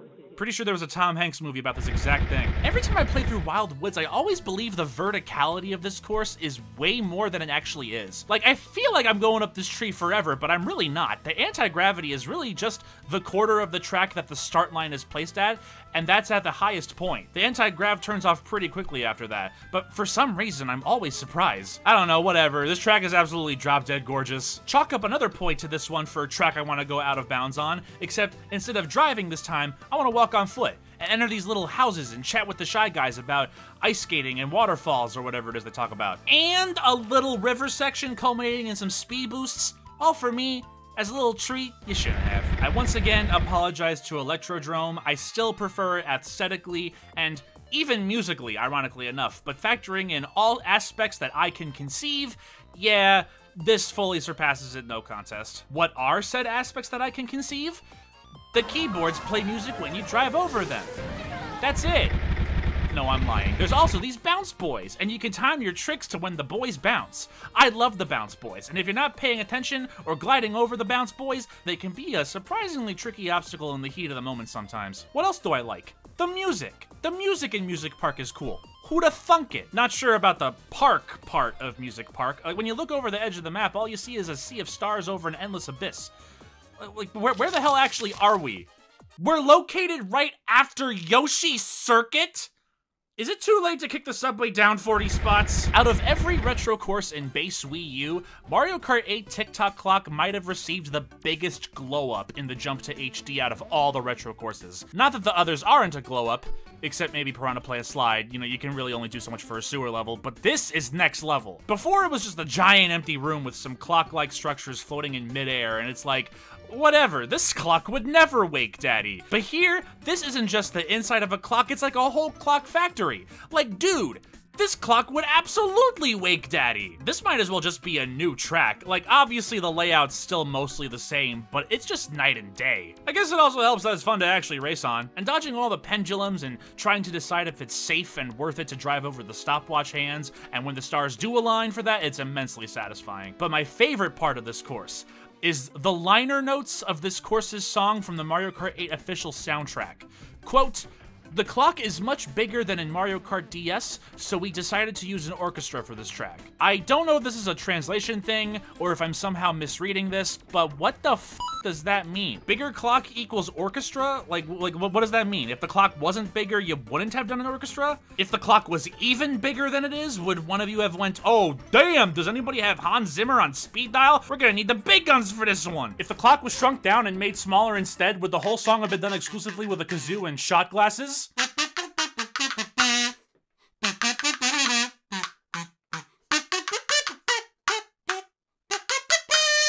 What are you looking at me like that for, huh? Why you look at me like I have a small clock? I don't. I don't have a small clock. My clock is huge! Number 8 from the original top 10, Mount Wario. And I don't need to tell you that it all being one big lap really, really does it a lot of favors. It's a pretty standard theme, and it honestly doesn't scream Wario at all. except for some balloons at the very, very end. Like, yep, uh, that's, I guess Wario owns that balloon, sure. But it makes up for it in variety and then some. And the verticality on this one is real too. I feel like I'm going down this mountain forever and ever, even though it's really only like two minutes. But boy howdy, do we get a fair bit done in those two minutes. The first part is just kind of okay, but the music's carrying. Once we get into the cave though, all bets are off. We get this cool gliding section, we have speed boosts over waterfalls, we have this part in the trees that can be deceptively tricky to navigate sometimes without bonking on at least one tree, culminating in the final stretch with multiple trick opportunities and this crazy boost pad hill. Most of these elements don't sound like they make for the most engaging course on paper. It's not like there's really any actual dangers or obstacles besides some trees, but it all comes together really nicely for a satisfying time. And here's a front runner for favorite unintended shortcut in the game. It only really saves fractions of a second and the angle can be a bit tricky, but you can barely jump past this tree to barely hit this boost panel. It's great. I love it so much, it makes me want to mount Wario. I only brought up 200cc 200 times in this video, so it should come as no surprise to you that 200cc plus an F-Zero themed level that's all about speed is this high up on this list. There's fast, way too fast, and galaxy level Falcon Punch fast.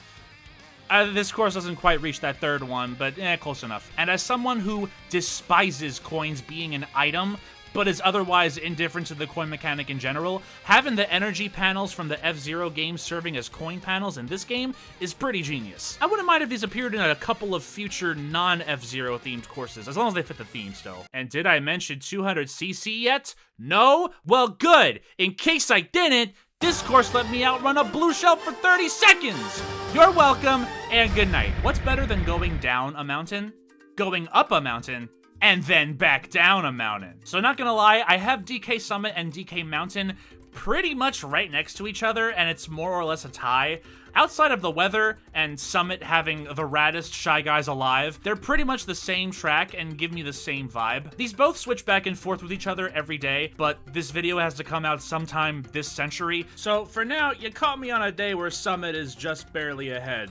Although DK Mountain do got that fence shortcut though. It can take a bit of practice, but you'll eventually hit a rhythm with it, and it feels so good every time. And feels even better when you do it and are still able to decently make the turn. Summit has a similar shortcut, albeit with no fence, which you think would make it even easier, and yet I'm somehow still ass at that one. But yeah, Summit wins for the time being. It'll probably fall below Mountain like five more times before this video comes out, but for the time being, uh, the answer is the Radish Shy Guys alive. Pretty much everything I said about Mute City applies to Big Blue because of course it does.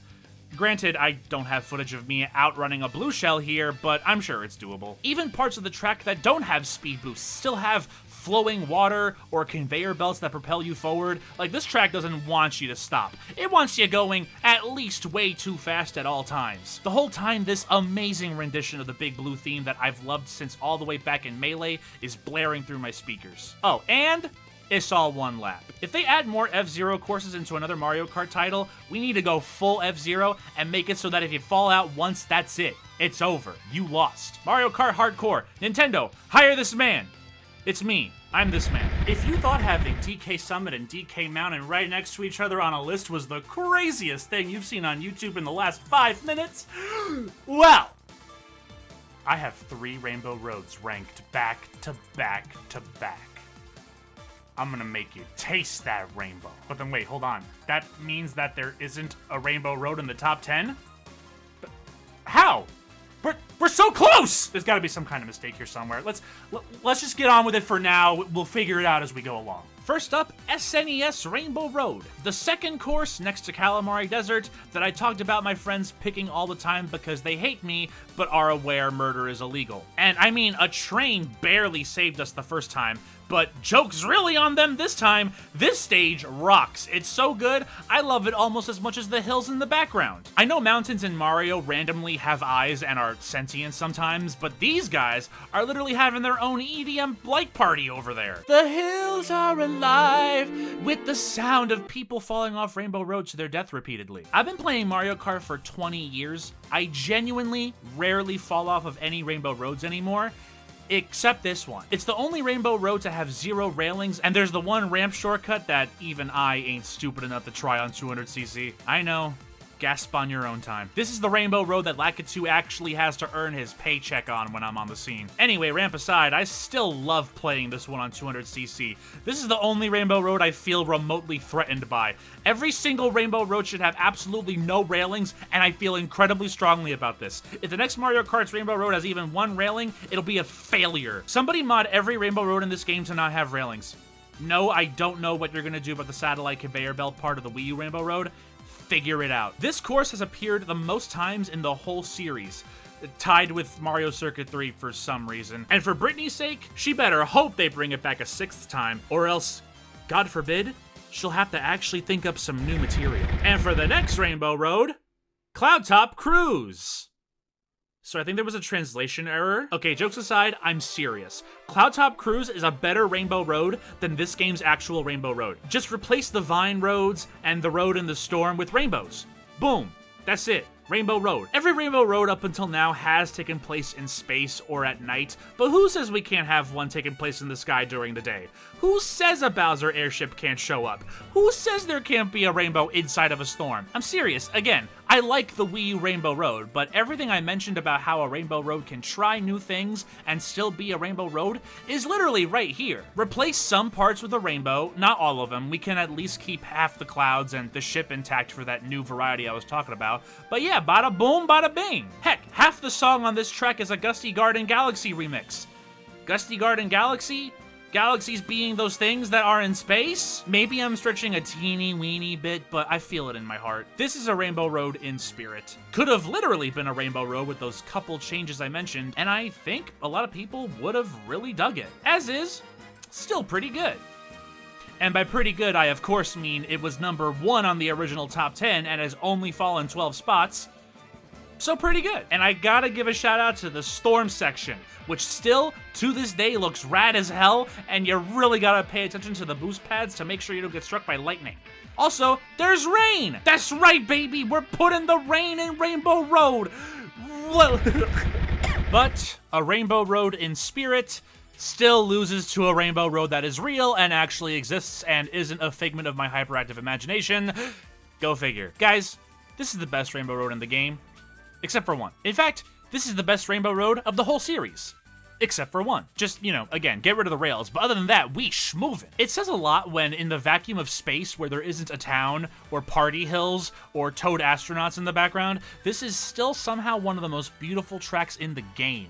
And there's star bits, which by default makes this a more fitting Rosalina course than her own Ice World. What else do I say? Rainbow Road music good. Rainbow Road fun to race on. I've talked about why Rainbow Road is always awesome three other times already. Four times. This one just also happens to have Mario Kart Wii nostalgia behind it too. Not much I can do about that, TBH. Speaking of Mario Kart Wii nostalgia, Coconut Mall. I don't have an intro. I don't have an outro.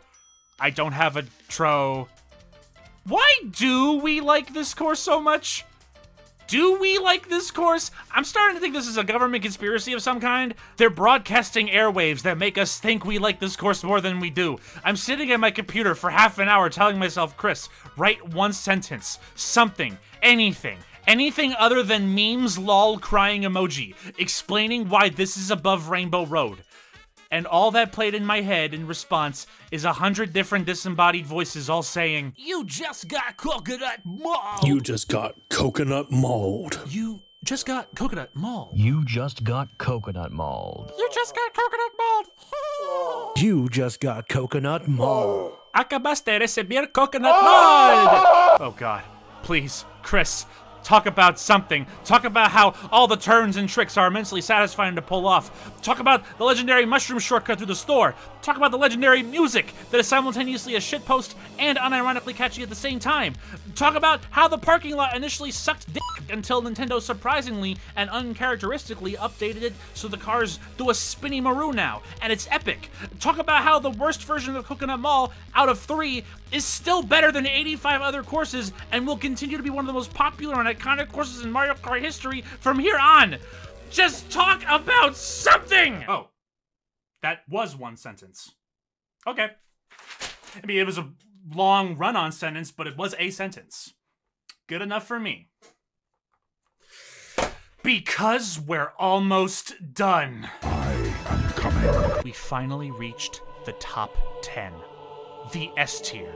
Or, as I called it in Tier Maker, Ah. I can see the light at the end of the tunnel.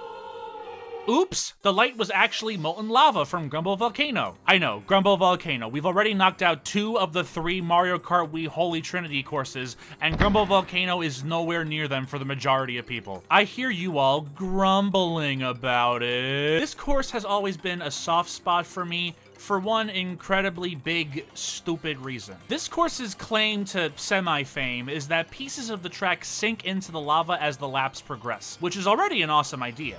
But when I was a kid playing this on Mario Kart Wii, my brain took this a step further. I firmly believed, despite having zero proof and never testing it, that if the race went on for too long, the entire track would start to sink. So every time I played on this course, I hauled ass hauled so much ass that I never saw the whole track sink like it was definitely supposed to. I'm so good at this game that that thing I thought was gonna happen despite never seeing it happen never happened. I'm the best at this game, unlike everyone who sucks. They definitely had that thing I thought was gonna happen despite never seeing it happen happen to them, because of course it would happen to them. They brought the happening upon themselves. By the time Grumbly Rumbly came back in 8 though, the delusion was definitely gone by this point. I knew for a fact I was living a fantasy. You can stay at the starting line for the rest of your life and be just fine. You can build real estate at the starting line and never have to worry about it sinking into lava ever.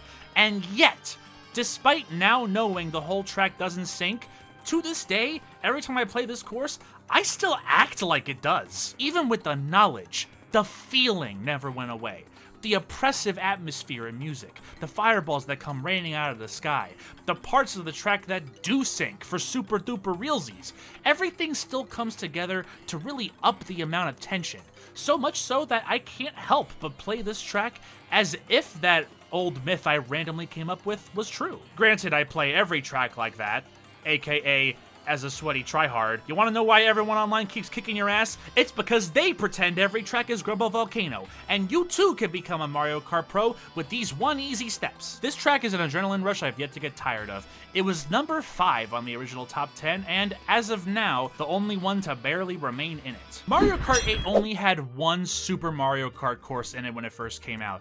By this point, they had already brought back most of those courses in prior games, and it's not like most of the course themes were that exciting to begin with. Plus, they knew they had other more popular Mario Kart games with varied track designs to work with, so they rightfully, IMO, brought over just one course as some form of an obligation and then moved on. Even as a couple more started very slowly trickling in as DLC, we still only ever got four. One of them is Rainbow Road, which is cheating. But the other two are so bland and boring, I forgot I already talked about them in this very video. I had little hope that Wave 6 would include another SNES course, and I certainly didn't even bother entertaining the mere thought that even if it did, it would be any higher than C tier.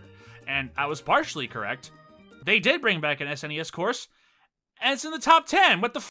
I don't know how they did it, but they actually did it pretty much take everything I just said about Grumble Volcano, minus the whole sinking thing, and then triple it. This course is a bit on the shorter side, but so much is crammed in it hardly matters. Even factoring in Rainbow Road, this is probably the biggest glow up they've ever given to a Super Nintendo track. We're not even inside of the castle. This is just the dude's front yard, and shit is this insane. The best part of the track might actually be the beginning, with these multiple paths you can take, either prioritizing going faster or getting more items. But then there's the thwomps to avoid, including some you can trick off of, holy moly! And this part that puts everyone's favorite favorite Mushroom Bridge shortcut to shame. I, I can't believe they made me love an SNES course that isn't Rainbow Road. How dare they? They better not ever do it again. Unless it's Bowser Castle 2, the one with the dead end for no reason, they should bring that back. But do not turn it into a glider shortcut. Leave it as is. I want to see how many unsuspecting suckers take that path online week one and laugh at their misery. I've thrown the word pleasant around multiple times, but this time, it's not just pleasant. It's wholesome. It does not get more wholesome than Animal Crossing. It's fucking Animal Crossing. Like, forget wanting to go out of bounds and walk into their houses in Mario Kart. Let me just go boot up New Horizons right now instead. I'm so out of bounds, I'm on a completely different cartridge. I do have a weird relationship with Animal Crossing where, while I like and deeply appreciate the games when I do play them, ever since the Wii game, I just start up the latest entry, do whatever the cheesiest, quickest method of earning bells was for like a month or two, pay off my house to Tom Nook, and then stop playing yeah, a bit of a weird way to play these games, but for one or two months every new Nintendo console generation, except for one, I am at peace. I remember my favorite neighbor from New Leaf, Tia. She kept trying to move out. She kept saying over and over, I'm thinking about moving out and getting you out of my life, Chris, you piece of shit. She didn't say that. But uh, she kept trying to move out, and I kept saying, No, Tia, stay, stay, stay. And then there was one day, one day where I didn't have time to play. And then I logged in the following day, and Tia moved out. She moved out, and I never played Animal Crossing again until the next game came out, which was incidentally right as the world started becoming on fire forever and ever. And I was at peace once more. So, yeah, the feelings and memories of other Animal Crossing games make me appreciate this track, but I feel like even if I hadn't played them, I'd still fully appreciate and get lost in the simplicity and comfiness of this track. The mushrooms are replaced with fruit, the balloon section is adorable, the seasons change randomly, and thank god it isn't based on what time of year it is in the real world, otherwise, the snow variant would only be here for three months, and this track would fall back down a whole tier by default. And Mr. Resetti is an obstacle? That, and I mean this with no exaggeration, is the greatest obstacle in Mario Kart history. It's perfect. The only way it could be more perfect is if you rage quit the race, Resetti comes out of your Switch and kills your whole family. Wholesome track. Bring it back in the next game and put Tia in it. Regardless of what your opinions on Tour are, or your opinions on most of its unique courses, whether they're IRL or not, I think we can all agree Ninja Hideaway needs to come back in the next Mario Kart. Immediately. No delay. This feels nothing like a Mario Kart Tour course. This feels nothing like a Mario Kart course in general, and I mean that in the best way. The amount of different paths you can take is insane, and you can keep going back and forth between lower and higher paths for the whole race. The architecture on the outside looks awesome, the indoor dojo parts are rad as hell, you can do tricks pretty much everywhere, even on parts of the floor that look like they have no business being trickable. And while I think there was some missed potential in getting ninjas involved, they did go with the next best option. That's right, more Shy Guys. But these ones are even more rad than DK Summit because they can turn into banana peels. Eh, it's not that impressive when I say it out loud like that, but it's cool when it happens during a race. And funny, I mean cool. This course is so great, it's actually almost a detriment to every other tour course. They really peaked on Wave 1. Unless we count Yoshi's Island, which did appear in this game first before being added to Tour, but it was clearly made with Tour in mind and was added to Tour very shortly afterwards. But who cares? This track, I once again have to default to you have eyes, use them. I respect the original Yoshi's Island game more than I like playing it, if that makes any sense. I don't dislike playing it, I just have way more fun with Mario and Donkey Kong Country personally. But the aesthetics of Yoshi's Island? No contest. They are so unique and charming and have been perfectly translated to 3D. The only other competition having been Smash Brothers and Sonic Lost World for some reason, and they actually added a new enemy that isn't a reskin. It is a Shy Guy again, but he's walking around on stilts. So he's a stilt guy. That's even more rad than a Shy Guy. The whole course is a visual delight, and every bit of it is some kind of reference to the OG Yoshi game. It's like a best of compilation condensed into 60 seconds, and the ending gliding section where you can try to hit this surprisingly slippery cloud to create a shortcut path, sort of similar to the shortcut from Hyrule Circuit, incredible. This whole level is a joy. I'm never not having a good time on here. Oh, don't get me started on the music. This might be the best rendition of the Yoshi's Island theme of all time. This is the best tour, but not really a tour, but still a tour course ever. Unless we count... Why? Why is one of the best Mario Kart courses, not just in this game, but in the whole series, have to take place in a fucking bathroom? Bathrooms are not the most exciting thing in the world. I locked myself in a bathroom for 24 hours and did research to prove this. Look.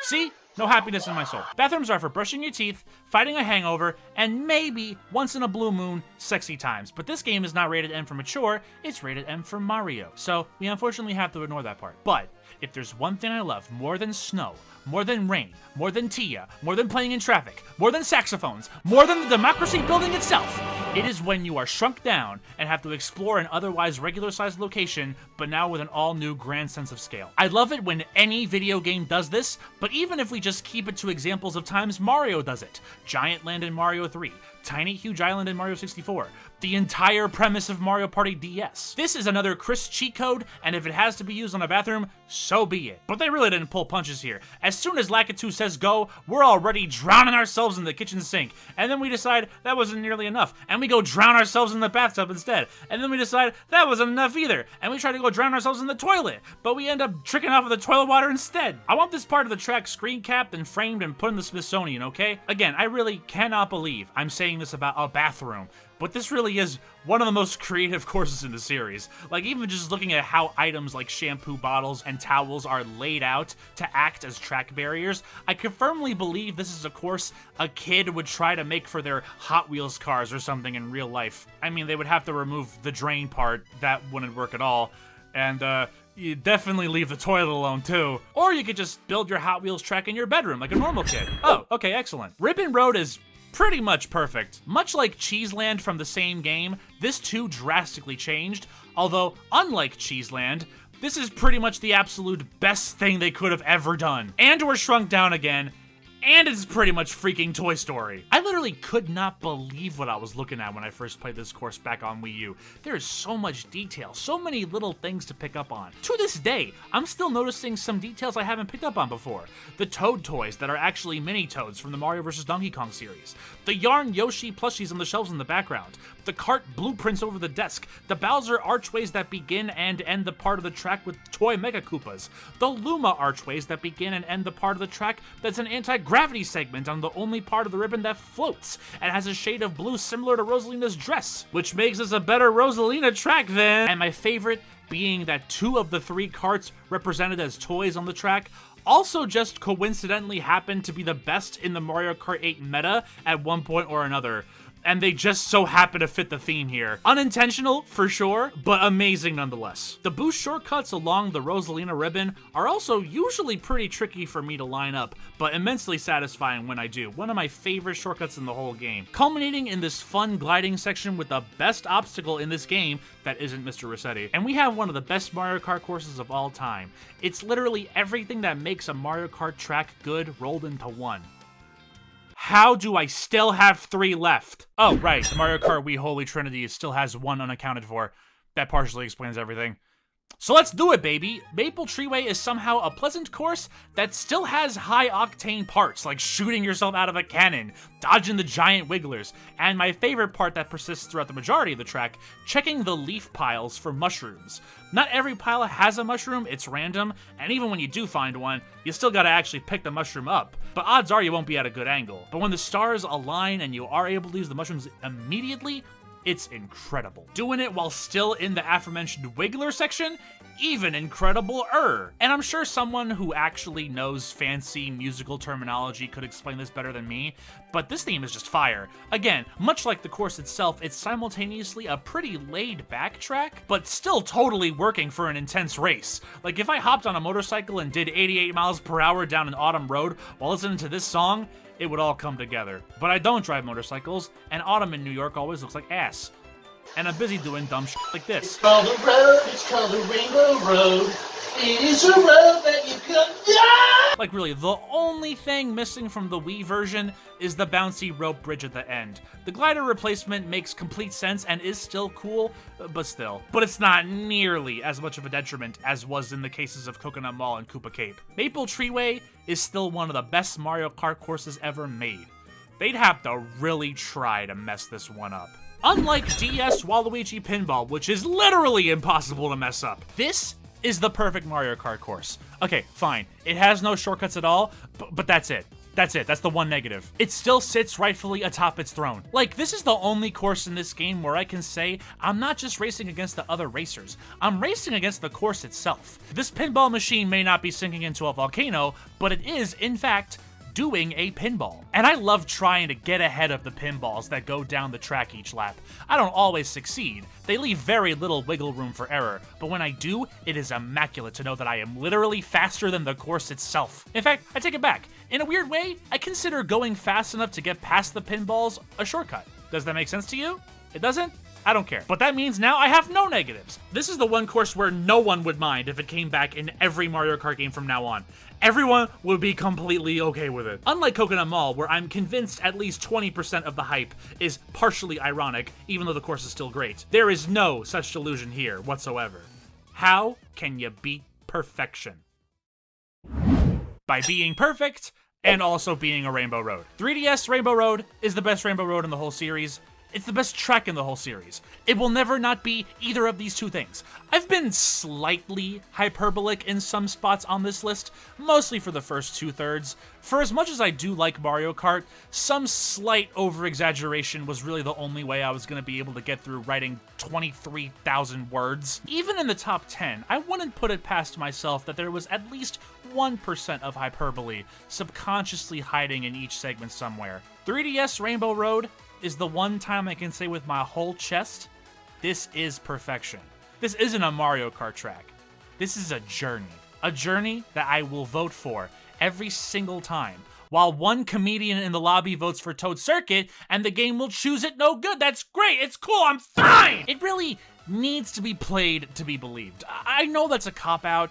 I know you could say that about most of my top 10 and A tiers, but the ethereal music, driving down the planets, tricking down onto the moon, going through this space tunnel, and all concluding in the best gliding section in the whole game. Even back in Mario Kart 7, I knew this was a gaming core memory, and I knew it was never gonna be topped for me. Nintendo knew this too.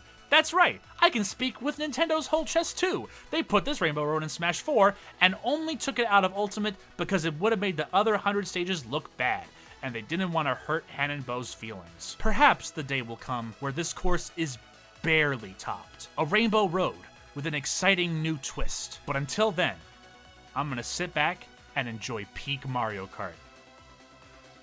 And that's before we even talk about 200cc. This is probably my favorite course in 200cc. Have I told you guys I like 200cc? And that's the video. Do you agree with number 73? Because I do. I remember what I wrote down. Let me know if you agree with number 73. And I stand by it. What... What is number 73? GBA Mario Circuit. Okay, yeah, all right. I stand by that one. That's the one with the... Yo, that's the one with the pit stop, baby! Yeah, let's f***ing go! Well, okay. Hey, uh, before I accidentally hurt myself, uh, hey, make sure to like and comment on the video. Uh, and uh, make sure to subscribe so that way you won't miss the next video, which I'll have out before the next Mario Kart game comes out. Uh, alright, this th this whole video didn't matter at all. Sonic All-Stars transformed is way better. Okay, bye!